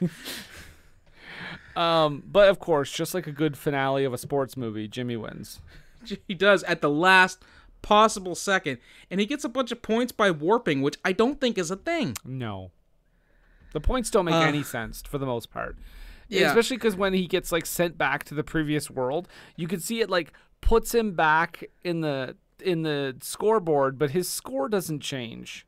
Well, your score wouldn't change. You're just halted because you're not scoring anymore. But why would they push him back in the scoreboard if his score is the same? That I don't understand that. I don't think it's so much that his he's being pushed back, is that they're continuing to to, to keep scoring. I guess so, but it was I don't know. Anyway, whatever. It was weird. It doesn't matter because Lucas and Mora lose, lose like a couple of losers, Right. and And Jimmy even, wins. Even Putnam is cheering him on at this point. yeah, I know that kid. I know that kid. Do it. Uh, he should not be allowed in that crowd at all. No. just no. He should have a permanent ban from that crowd. It was at, it was actually at this point where I realized that Vision Skate also must have had a pretty big hand in the sponsorship of this movie because all of Lucas's posse have Vision Skate shirts. Corey had a Vision skateboard. There were a couple other people wearing Vision Skate clothing, and then for some reason, I think at the end, uh, even Jimmy's got like a Vision T-shirt on. I'm like, that's you know what people complain about this being a Nintendo commercial, but I think there was the, the product placement, you know, finger could be pointed in several different directions in this movie. Yeah. Um, And that surely you- the movie ends there on a happy note, right? no, no, uh, we uh, we we get the the drive back from California to Utah, which I don't know what kind of time that. Again, Stephen Izzy, hit us up with that. How long did it take you guys to go from California to Utah? I mean, that's what we want to know here. Um, as they're driving along, uh, singing a song side by side, uh, they see, uh, I don't know, like a, a roadside attraction, one of those, you know, two bit tourist traps that Christian Slater was talking about earlier in the movie. And uh, Jimmy, the lunatic that he is, unbuckles his seatbelt on the highway. You maniac, buckle up for safety. Starts flicking, pounding at the window, saying, California, California. And somewhere, somewhere, Anthony Kiedis of the Red Hot Chili Peppers got an idea. so I'm going to write a million songs with just that refrain over and over And, again. and maybe Bill Hader when he heard California. California. What are you doing here? um. So they all they they they uh they pull off to the side, um, and Jimmy you know runs off. Uh, of course, Sam sees it. He pulls off to the side too. Uh, they go up into the one of the dinosaurs, which is an attraction. They're looking for Jimmy. Uh, they can't seem to find him. Um, and they, I did notice that this though. Before we get to this, they left the safety pins on the back of Jimmy's shirt because they pinned the number to his back for his the, the competition. Oh, okay. He had his number right, but apparently when they left, they just tore the, the number off and left the safety pins on the po- uh, back of this poor autistic kid who probably has sensory issues. Can you imagine one of those things popped off and started poking at him? Good lord, that ride back would be awful. Yeah, it wouldn't just be him yelling California. No, it'd be like tetanus shot, tetanus shot. Pancakes. So, Uh, they find Jimmy uh, in there, and he is putting down his lunchbox or memory box, as you said. Uh, it's got all kinds of. It's got all the pictures of magical day. Jennifer. Yeah, uh, but it's got pictures of Jennifer, him and Jennifer, and the family. Uh, there's even a picture of them all together when they were still a family uh, at the foot of the dinosaur. And he, Corey, then kind of parcels together. Is this California? This is what you're always talking about. I guess he just wanted to leave her in a place where she was happy. And it's a really like kind of a sweet, touching moment. And until you realize that, you know, two days later, some janitor found that and threw it in the garbage. Oh yeah, hundred percent. That's not staying there. no, he's not. Um, and the mom, you think it, you would think through all of this stuff at some point, uh, as far as like cliched '80s movies go, it would dictate that um, Sam and, and Catherine would have a reconciliation. She would leave uh, uh, Bateman, aka Sam McMurray, and reunite with her with her ex husband, and they would live happily ever ever. No, all she says is, "Take our boys home, and we'll talk when we get back." Meaning that she's going to be a little more open in regards to their custody arrangement. But I kind of like that too, though. Honestly, it's a little It's a more honest ending, that's for sure. yeah. Um, Um, and then and then uh, as they're ending, Haley just uh, keeps kissing Corey and Jimmy on the cheek, and I guess they're a She- throuple now. They, Jesus. Yeah, she kisses Corey, she kisses Jimmy, and then Jimmy gives her a kiss on the cheek, and I'm like, are they just gonna drop her back off in Reno and never see her again? Nope, we got an extra kid now. That's how it works. I don't. Mm, no, You I don't think that's. Nathan- I've been through the adoption process. That's not how it works. I think the rule is if you find a child, they're yours now. I think I think it's if, if if if that's the case, I'm hiding my youngest in your house someday. hey, wait a second. you found her. She's yours now. if you find a child in another state, they belong to you. Oh yeah. Feel free to transport across all the state lines, all the state lines with them. Yeah. Find it's it's Uh, the it's the finders keepers rule. Right. Actually, I believe that was settled in the case of uh, finders keepers versus losers weepers. Yes. I can't believe the Supreme Court overturned that. That's bullshit. right? It's garbage. That was that should have been a constitutional right. I know. Codify All that right. shit. Anyhow, Thanks, then credits. Then credits. That's the wizard, and my notes will ascend to note heaven to never be touched because this movie is great. but uh, not to dip my hand a little bit, but uh, well, what do you say, Brendan? Is this thing worth a watch? Is it a drunk watch with friends? Uh, are you going to attempt head trauma to forget it, or avoid it like the plague? Um I'll say it's a drunk watch. Okay. It's it's you know, cheesy 80s stuff. Um the the video game stuff being so inaccurate is so funny when you realize Nintendo basically made this movie. Um, Essentially. Yeah. So yeah, I don't know. It's yeah, I'd probably say it's a drunk watch. I, I, I'm not gonna go for the full throat recommend, but yeah, drunk watch with friends. I will say. What about you? I I absolutely say it is worth a watch, especially if you're you know a, a video game connoisseur of a certain age. Um, this is this is a, a big part of Nintendo history for me, even though it's not even a video game. And s- surprisingly, there wasn't a video game adaptation of this, which I felt that I missed opportunity on Nintendo's part to cash in. that shocks me actually. That really shocks me. But I guess the movie was enough. Maybe, but the movie didn't do that well, I, I, from what I recall. Oh, see, I don't know. Well, that that can be fair because I never, I saw it on video when it came out. My my dad was like, "I'm not fucking going ta paying theater money to go see a movie about Nintendo." That's fair. No, Yeah. I think um, uh, I had it written down here. Yeah, the, well, I mean, it made its money back and then some, but it cost six million, and they probably expected it to be huge, and it made about fourteen. So it, it definitely made twice its money back, but they probably expected it to do a lot better. Yeah. Oh. Anyhow, that's that's our takes on it. You guys, uh, you know what? We have some bills to pay to keep the lights on and and and Milos in shoes. So uh, you guys just stick around, and we'll be right back. Nathan, what's all this porn you ordered? I can't pay for this.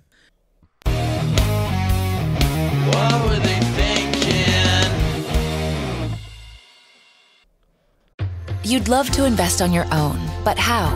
Well, with Questrade, we don't just give you all the tools you need, we also give you tutorials and how to videos to teach you how to use them. Download the Quest mobile app today and start investing in your RSP. NPR bot, initiate NPR sequence. Beep. Thank you. We are back. Yes, we are back. And uh now is uh, the time for the uh, the show where we we get a little we get a little poetical. It's now time for the low haiku. And and Brendan, just on the off chance that this is somebody's first episode of our show, uh, could you please explain to the folks what the low haiku is all about? 17 syllables to describe the movie we just talked about for a lot more than 17 syllables. I'm Casey Kasem here on NPR. NPR Radio. That- that that's odd. He usually did the top forty countdown. Well, if you'd like, I can go through all 40 haikus that I've written tonight. That's that's quite all right. Okay. We just, we just need the top, the top one. And uh, Oh. if you'd be so kind, uh, please do grace us with your low haiku. Sure. Creepy Kid Hunter. A Nintendo commercial. Power Glove. No love. Very good. Very good. Very good. Thank you. Uh, Nathan, if you could, your haiku. Yes, yes, yes. Mine is as follows. It's a brand new game. Find all the hidden secrets. Hey, hold on a sec. Thank you. Thank you. Thank you. Thank you. NPR bot. NPR bot, save us. NPR bot, please initiate exit protocol. Meow. Oh, That was close. Uh, Sounded like it was starting to hurt. I was, was starting to reach up my rectum. Oof. Barely knew him. Damn near killed him. Wow. So, yeah. well, we have had our talk. We've waxed poetical and And our uh, chests. And our chests and you know, our legs and bikini area as well because there's still a few weekends of summer left. But um, we have a thing where at this place where we don't want you guys just to be like, oh well, Nathan and Nathan and Brendan had their say about what they had They must be that must be gospel. I mean, that, we don't want that happening. We don't. No. In, in fact, so much so that we've got a, a, a nifty little catchphrase that we uh, that have around here. And what is that nifty little catchphrase that we have around here, Brendan? Well, it goes a little something like this. Don't take a word for it.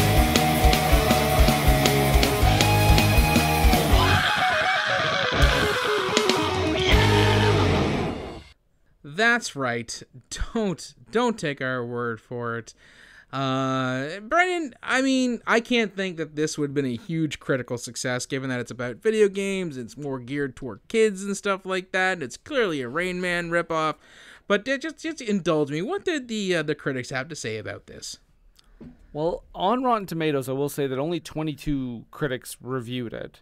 Um, Okay. But out of those 22 critics, uh, 27% uh, Oh. liked it. All right.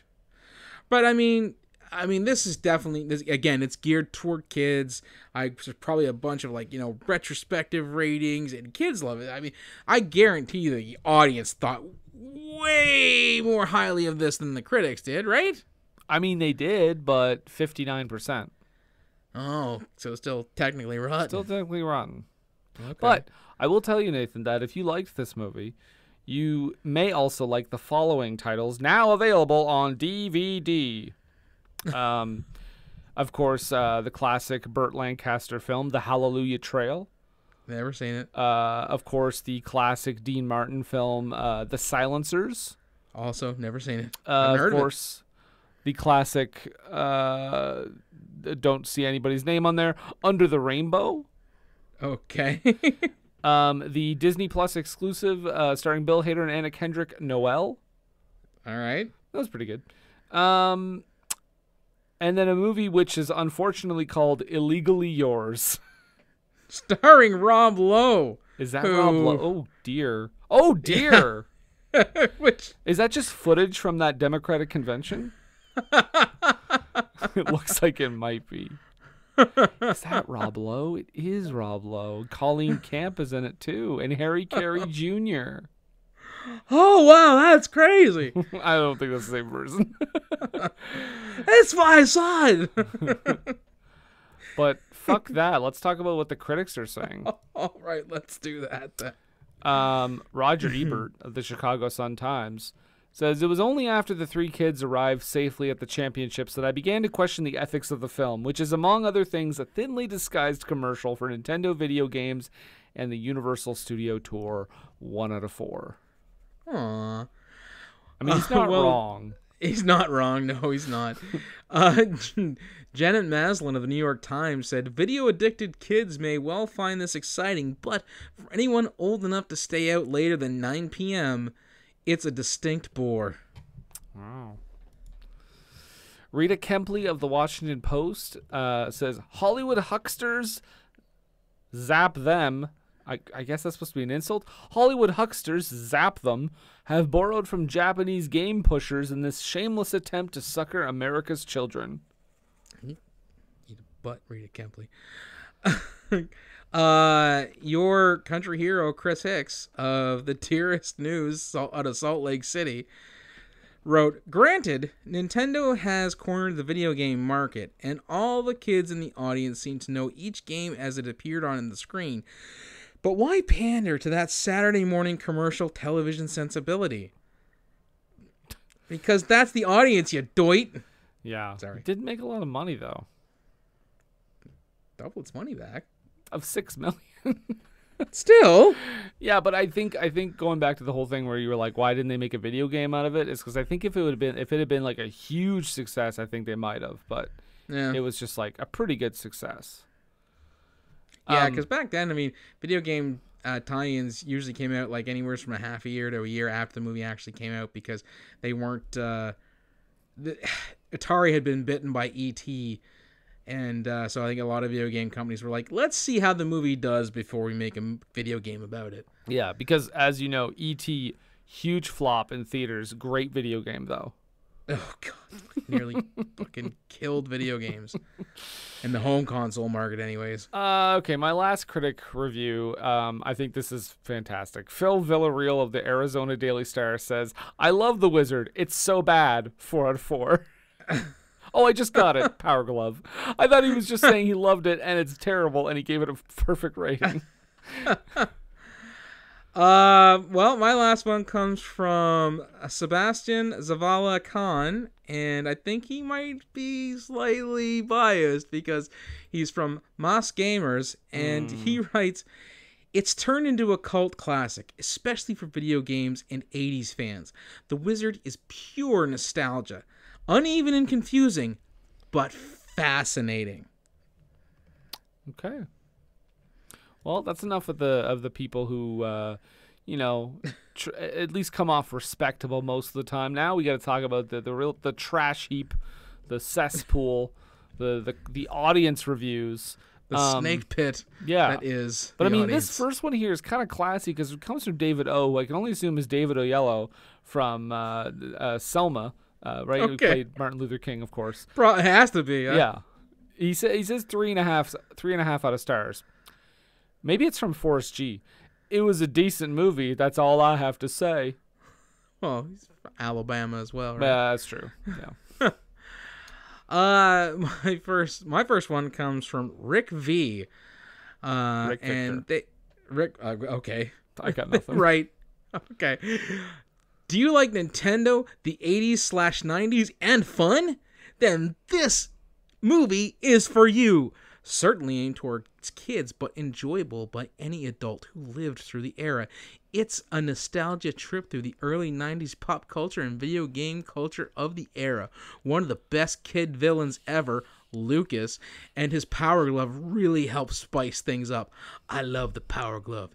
It's so bad. Fun premise and a must see for any of you 80s slash 90s kids out there. Four and a half out of stars. All right. Uh, Carter L says four stars. People love to hate on this movie. The story is compelling, and I actually feel like it's real. I like it. Okay. Uh, well, my next one comes from Scott S, and I can only assume that's Scott Steiner. Mm-hmm. And he writes, "The Wizard is an amazing movie. It's about a boy named Jimmy. He is autistic and always run away from home because of his mom, and the person who takes care put him in a home. But his half brother break him out, and they went on an adventure to California, and they found out that Jimmy is amazing at video games. Five out of stars." Well, surprisingly, uh, sounded very educated for Scott Steiner. There was no math involved, Yeah.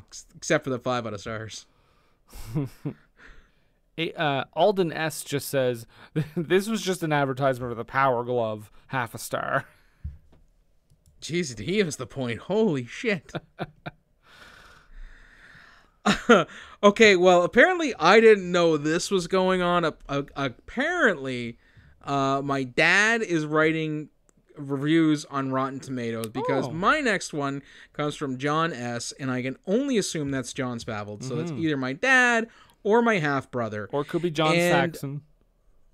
well, I'm pretty sure it's it's, it's they're related to me be- because they write best Nintendo propaganda film ever. Three out of stars.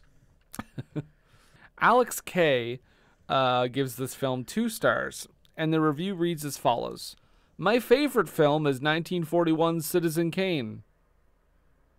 That's it. Okay.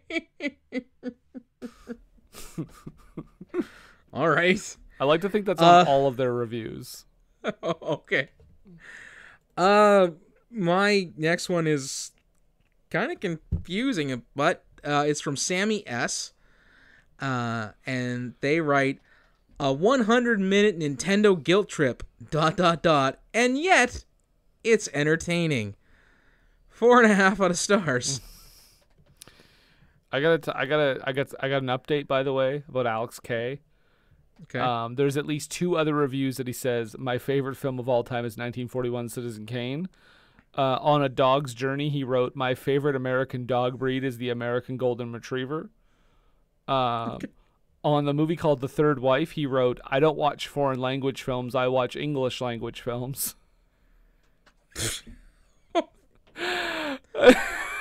Alex K's got and on a is. shitty It's a zombie movie, life. he wrote my favorite American zombie film of all time is 1968's Night of the Living Dead. Okay. So anyway, um, let me find my last review. okay, this is Brian B. I can only assume is B. Brian Blair. Has to be. Um, it's my last review. He uh, gives it five out of stars. 1987, which is not the year this came out, I don't believe. Good year for film. The Wizard is a prime example. Roger Ebert, you're a knucklehead. No one would expect you to like it. At least Roger Ebert knew how to work a calendar. also, pretty sure Roger Ebert didn't just l- di- like liked a lot of populist movies, dude. Okay. He gave Beauty Shop a three and a half out of four. For God's sakes. calm down, calm down. All right, well, my last one uh, is I'm guessing he, he's better at typing than he is at talking because it comes from Jason V, and I can only assume that's Jason Voorhees. Um, and it proves that he is evil incarnate. He writes, silly, stupid, and morally unsound. The Wizard is a commercial for Nintendo and Universal Studios and 7 Eleven and Pepsi. I'm sure I'm missing at least one piece of product placement there. Chevy. Uh, and Vision Skates. but so be it. Even, even for the gamers in the audience back in 1989, when the hook of seeing the new Super Mario Bros. 3 game would lure in the box office money, this film can't be anything more than a letdown. The story is paper thin. The characters, especially the adults, don't do anything that requires them to be smart, and none of the stories are wrapped up in any satisfying way. But who cares? The Wizard is the same category as live action Mario Brothers and Street Fighter flicks. No, this is way better. Terrible filmmaking and uninvolving. The latter may be the worst thing you can say about a movie. One out of stars. Fucking Jason Voorhees with his nose in the air over the Wizard. I mean, but when you have a franchise as flawless as the Friday the 13th films, with not a dud in the bunch, Not one. not a single one, not even when he went to New York, uh, He- Toronto, when he New York, took Manhattan, aka New York. Yeah. when you see Manhattan for about 45 seconds of screen time. and it's all B-roll because it was shot in Toronto. I think they shoot him walking in Times Square a little bit Okay. for like two minutes, and then the Hmm. rest of it is B-roll, and the rest of it after that is Toronto. But anyway, There yeah, there we go. Those Yeah, are the reviews. That's it. Yeah. Can't believe you have the gall to say this is in the line with the Mario Brothers live action and Street Fighter. So there we go. That's it. Uh, we have uh, we've uh, we've had our say, and the critics have had their say, and the audience have had their say. Uh, so that's that's the wizard in the can, wrapped up, but in a nutshell. There. Mm-hmm. Uh, we're now coming to uh, the latest dance craze sensation that's sweeping the nation. It's what you watching, bud? What you watching, bud? I don't know what you're watching, bud. I'll tell you so. Do do do do do. So Brendan, Mm. what you watching, bud? Well, again, like I've said in the last couple weeks, or maybe last week, because I also don't know how calendars work. Um, but I am watching quite a few uh, horror movies lately as we're ramping up to October because I'm trying to watch as many that I haven't seen as I can. Uh, so I watched a, a f- uh, a movie called Thesis.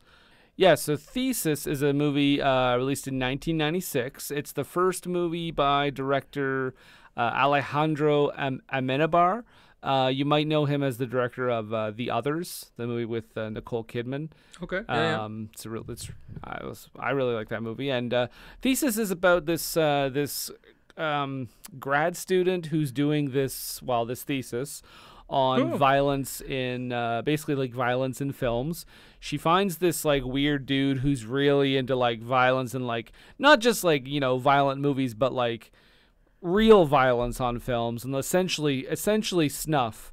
Um, and she finds a uh, a film from the library on campus that they find out is genuinely a snuff film. So now they're trying to find out like who did it, uh, what's going on, if there's anybody else behind it. They're kind of uncovering this like conspiracy thing, and you're not quite sure who's on the level and who's not. So it's it's it's a horror movie, but it's also like a bit of a mystery, um, and it's uh, it, it's really good. And uh, yeah, Thesis. I think you can uh, watch it. I watched it on some streaming service, I think, but if not, So- you know, f- be creative.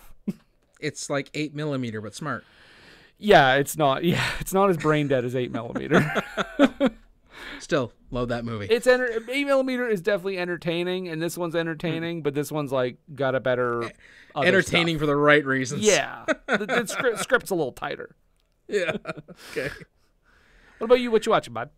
Well, actually, uh, it, not what I've been watching. What I've been reading. Um, took a little day trip to Moncton, uh, Monkey Town, as we like to call it around in these parts, and uh, picked up a couple of collections of Tank Girl comics. And I've been having a, a real fun time checking those out. And uh, for anybody who listened to our Tank Girl episode and was left wondering, did she or didn't she have sex with that kangaroo man?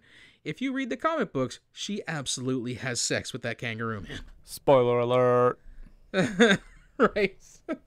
so there you go. Uh, actually, uh, Tank Girl Forever, I think, is the one that I'm particular that I've been uh, I'm reading now and particularly fond of, which is like she gets superpowers along with Jet Girl and, and Sub Girl, and it's a it's a, it's a real fun take on the character. Timey tank girl down sport. Timey tank girl down sport. I would.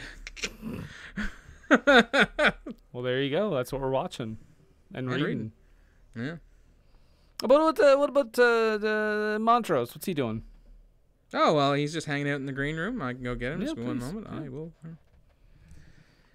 Hello, it's your good friend Montrose Monkington the Third here, and uh, just uh, Uh, uh, I'm usually watching the Graps in wrestling. Uh, I'm thinking of, of, of dabbling into the video gaming uh, in in the in the future, possibly, possibly in the new year. I know it's a, a little early to be making these resolutions, but uh, possibly think that's coming as I've gotten some some new equipment and uh, might be possibly doing some let's plays uh, and maybe some uh, some live streaming if I can find someone to hold the controller for me, as I have no opposable thumbs. But all that you will be able to see on my YouTube channel, Montrose Monkington TV. You can be friends with me on the Facebook group Montrose Monkington III Esquire and Friends. And finally, if you'd like to tweet at me uh, on the Twitter device, maybe you have suggestions about a, a game that I might want to play or something, or some wrestling or promotion that I might want to watch, uh, you can do that at Montrose III. That's the number three RD. Thank you. More later.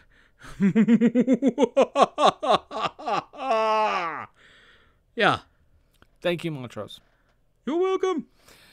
And of course, you can find us on all the podcast apps. Our home base, of course, is Age of Radio. Big time. You go to ageofradio.org slash what were they thinking. Find us on Patreon. Find us on Redbubble. Find us on TeePublic. We are on Twitter and Instagram at WWTT Podcast. And of course, you can find us on Facebook. Just search for what were they thinking. That is where we're at. Nathan, I guess I just have questions about the movie to finish us off. Well, I have seen this movie more times than I can count, so fire away, my friend. Okay, so just hold on. Now, this isn't really about the movie, but I still have to ask you. Okay. Okay, so like I'm on the third level, okay? In what? Uh, uh, uh cabin quest. okay. Okay, so like, Not super familiar with it, but I, I I got some got the broad strokes. I might be able to help you out. okay, so there's like a goblin, right? Mhm, Okay, and and when I go up to the goblin, it gives me the option to use a, a sword, Right. a wooden staff, Mhm. or a donkey, Okay. and I don't know what to do because I, I do one, and it's like I can't go back and redo it. Well, the thing about this game is that it's one of those weird uh, puzzle quest games where the, the answer is not super obvious and it's actually stupidly explained after you do it. Now, I'm going to tell you what to do. Um, you're going to want to use the donkey. Now, people will think, oh, you use the sword, so you stab the goblin. No, no, uh, because his skin is actually impervious uh, to the stabbing. Uh, you think, oh no, I'll use the wood. But again, because of the impervious skin, the wood staff is just going to break. If you use the donkey, though, the donkey will then get shocked by the ugliness of the goblin, turn around, and donkey kick him into the next county. Okay, so let me try that. Let me try that real quick. Uh, oh, oh, oh! I just fell down a hole. Oh no, I'm playing ET. Oh, ah, what were you thinking? I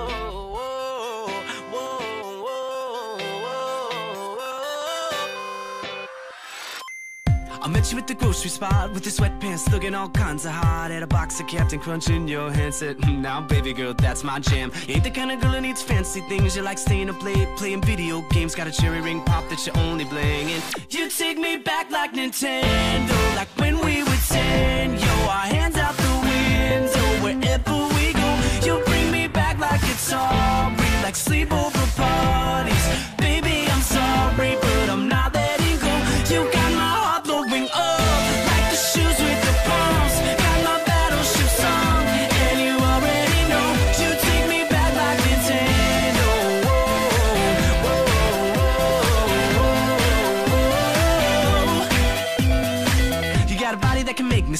Wanna take you for a ride in my Superman sheets. Got an old mixtape full of workout songs. Gonna take you to the point, make it all night long. Something about you I can't explain, but man, you got me feeling like a kid again. And damn, you got me crushing like way back when. And you take me back like Nintendo,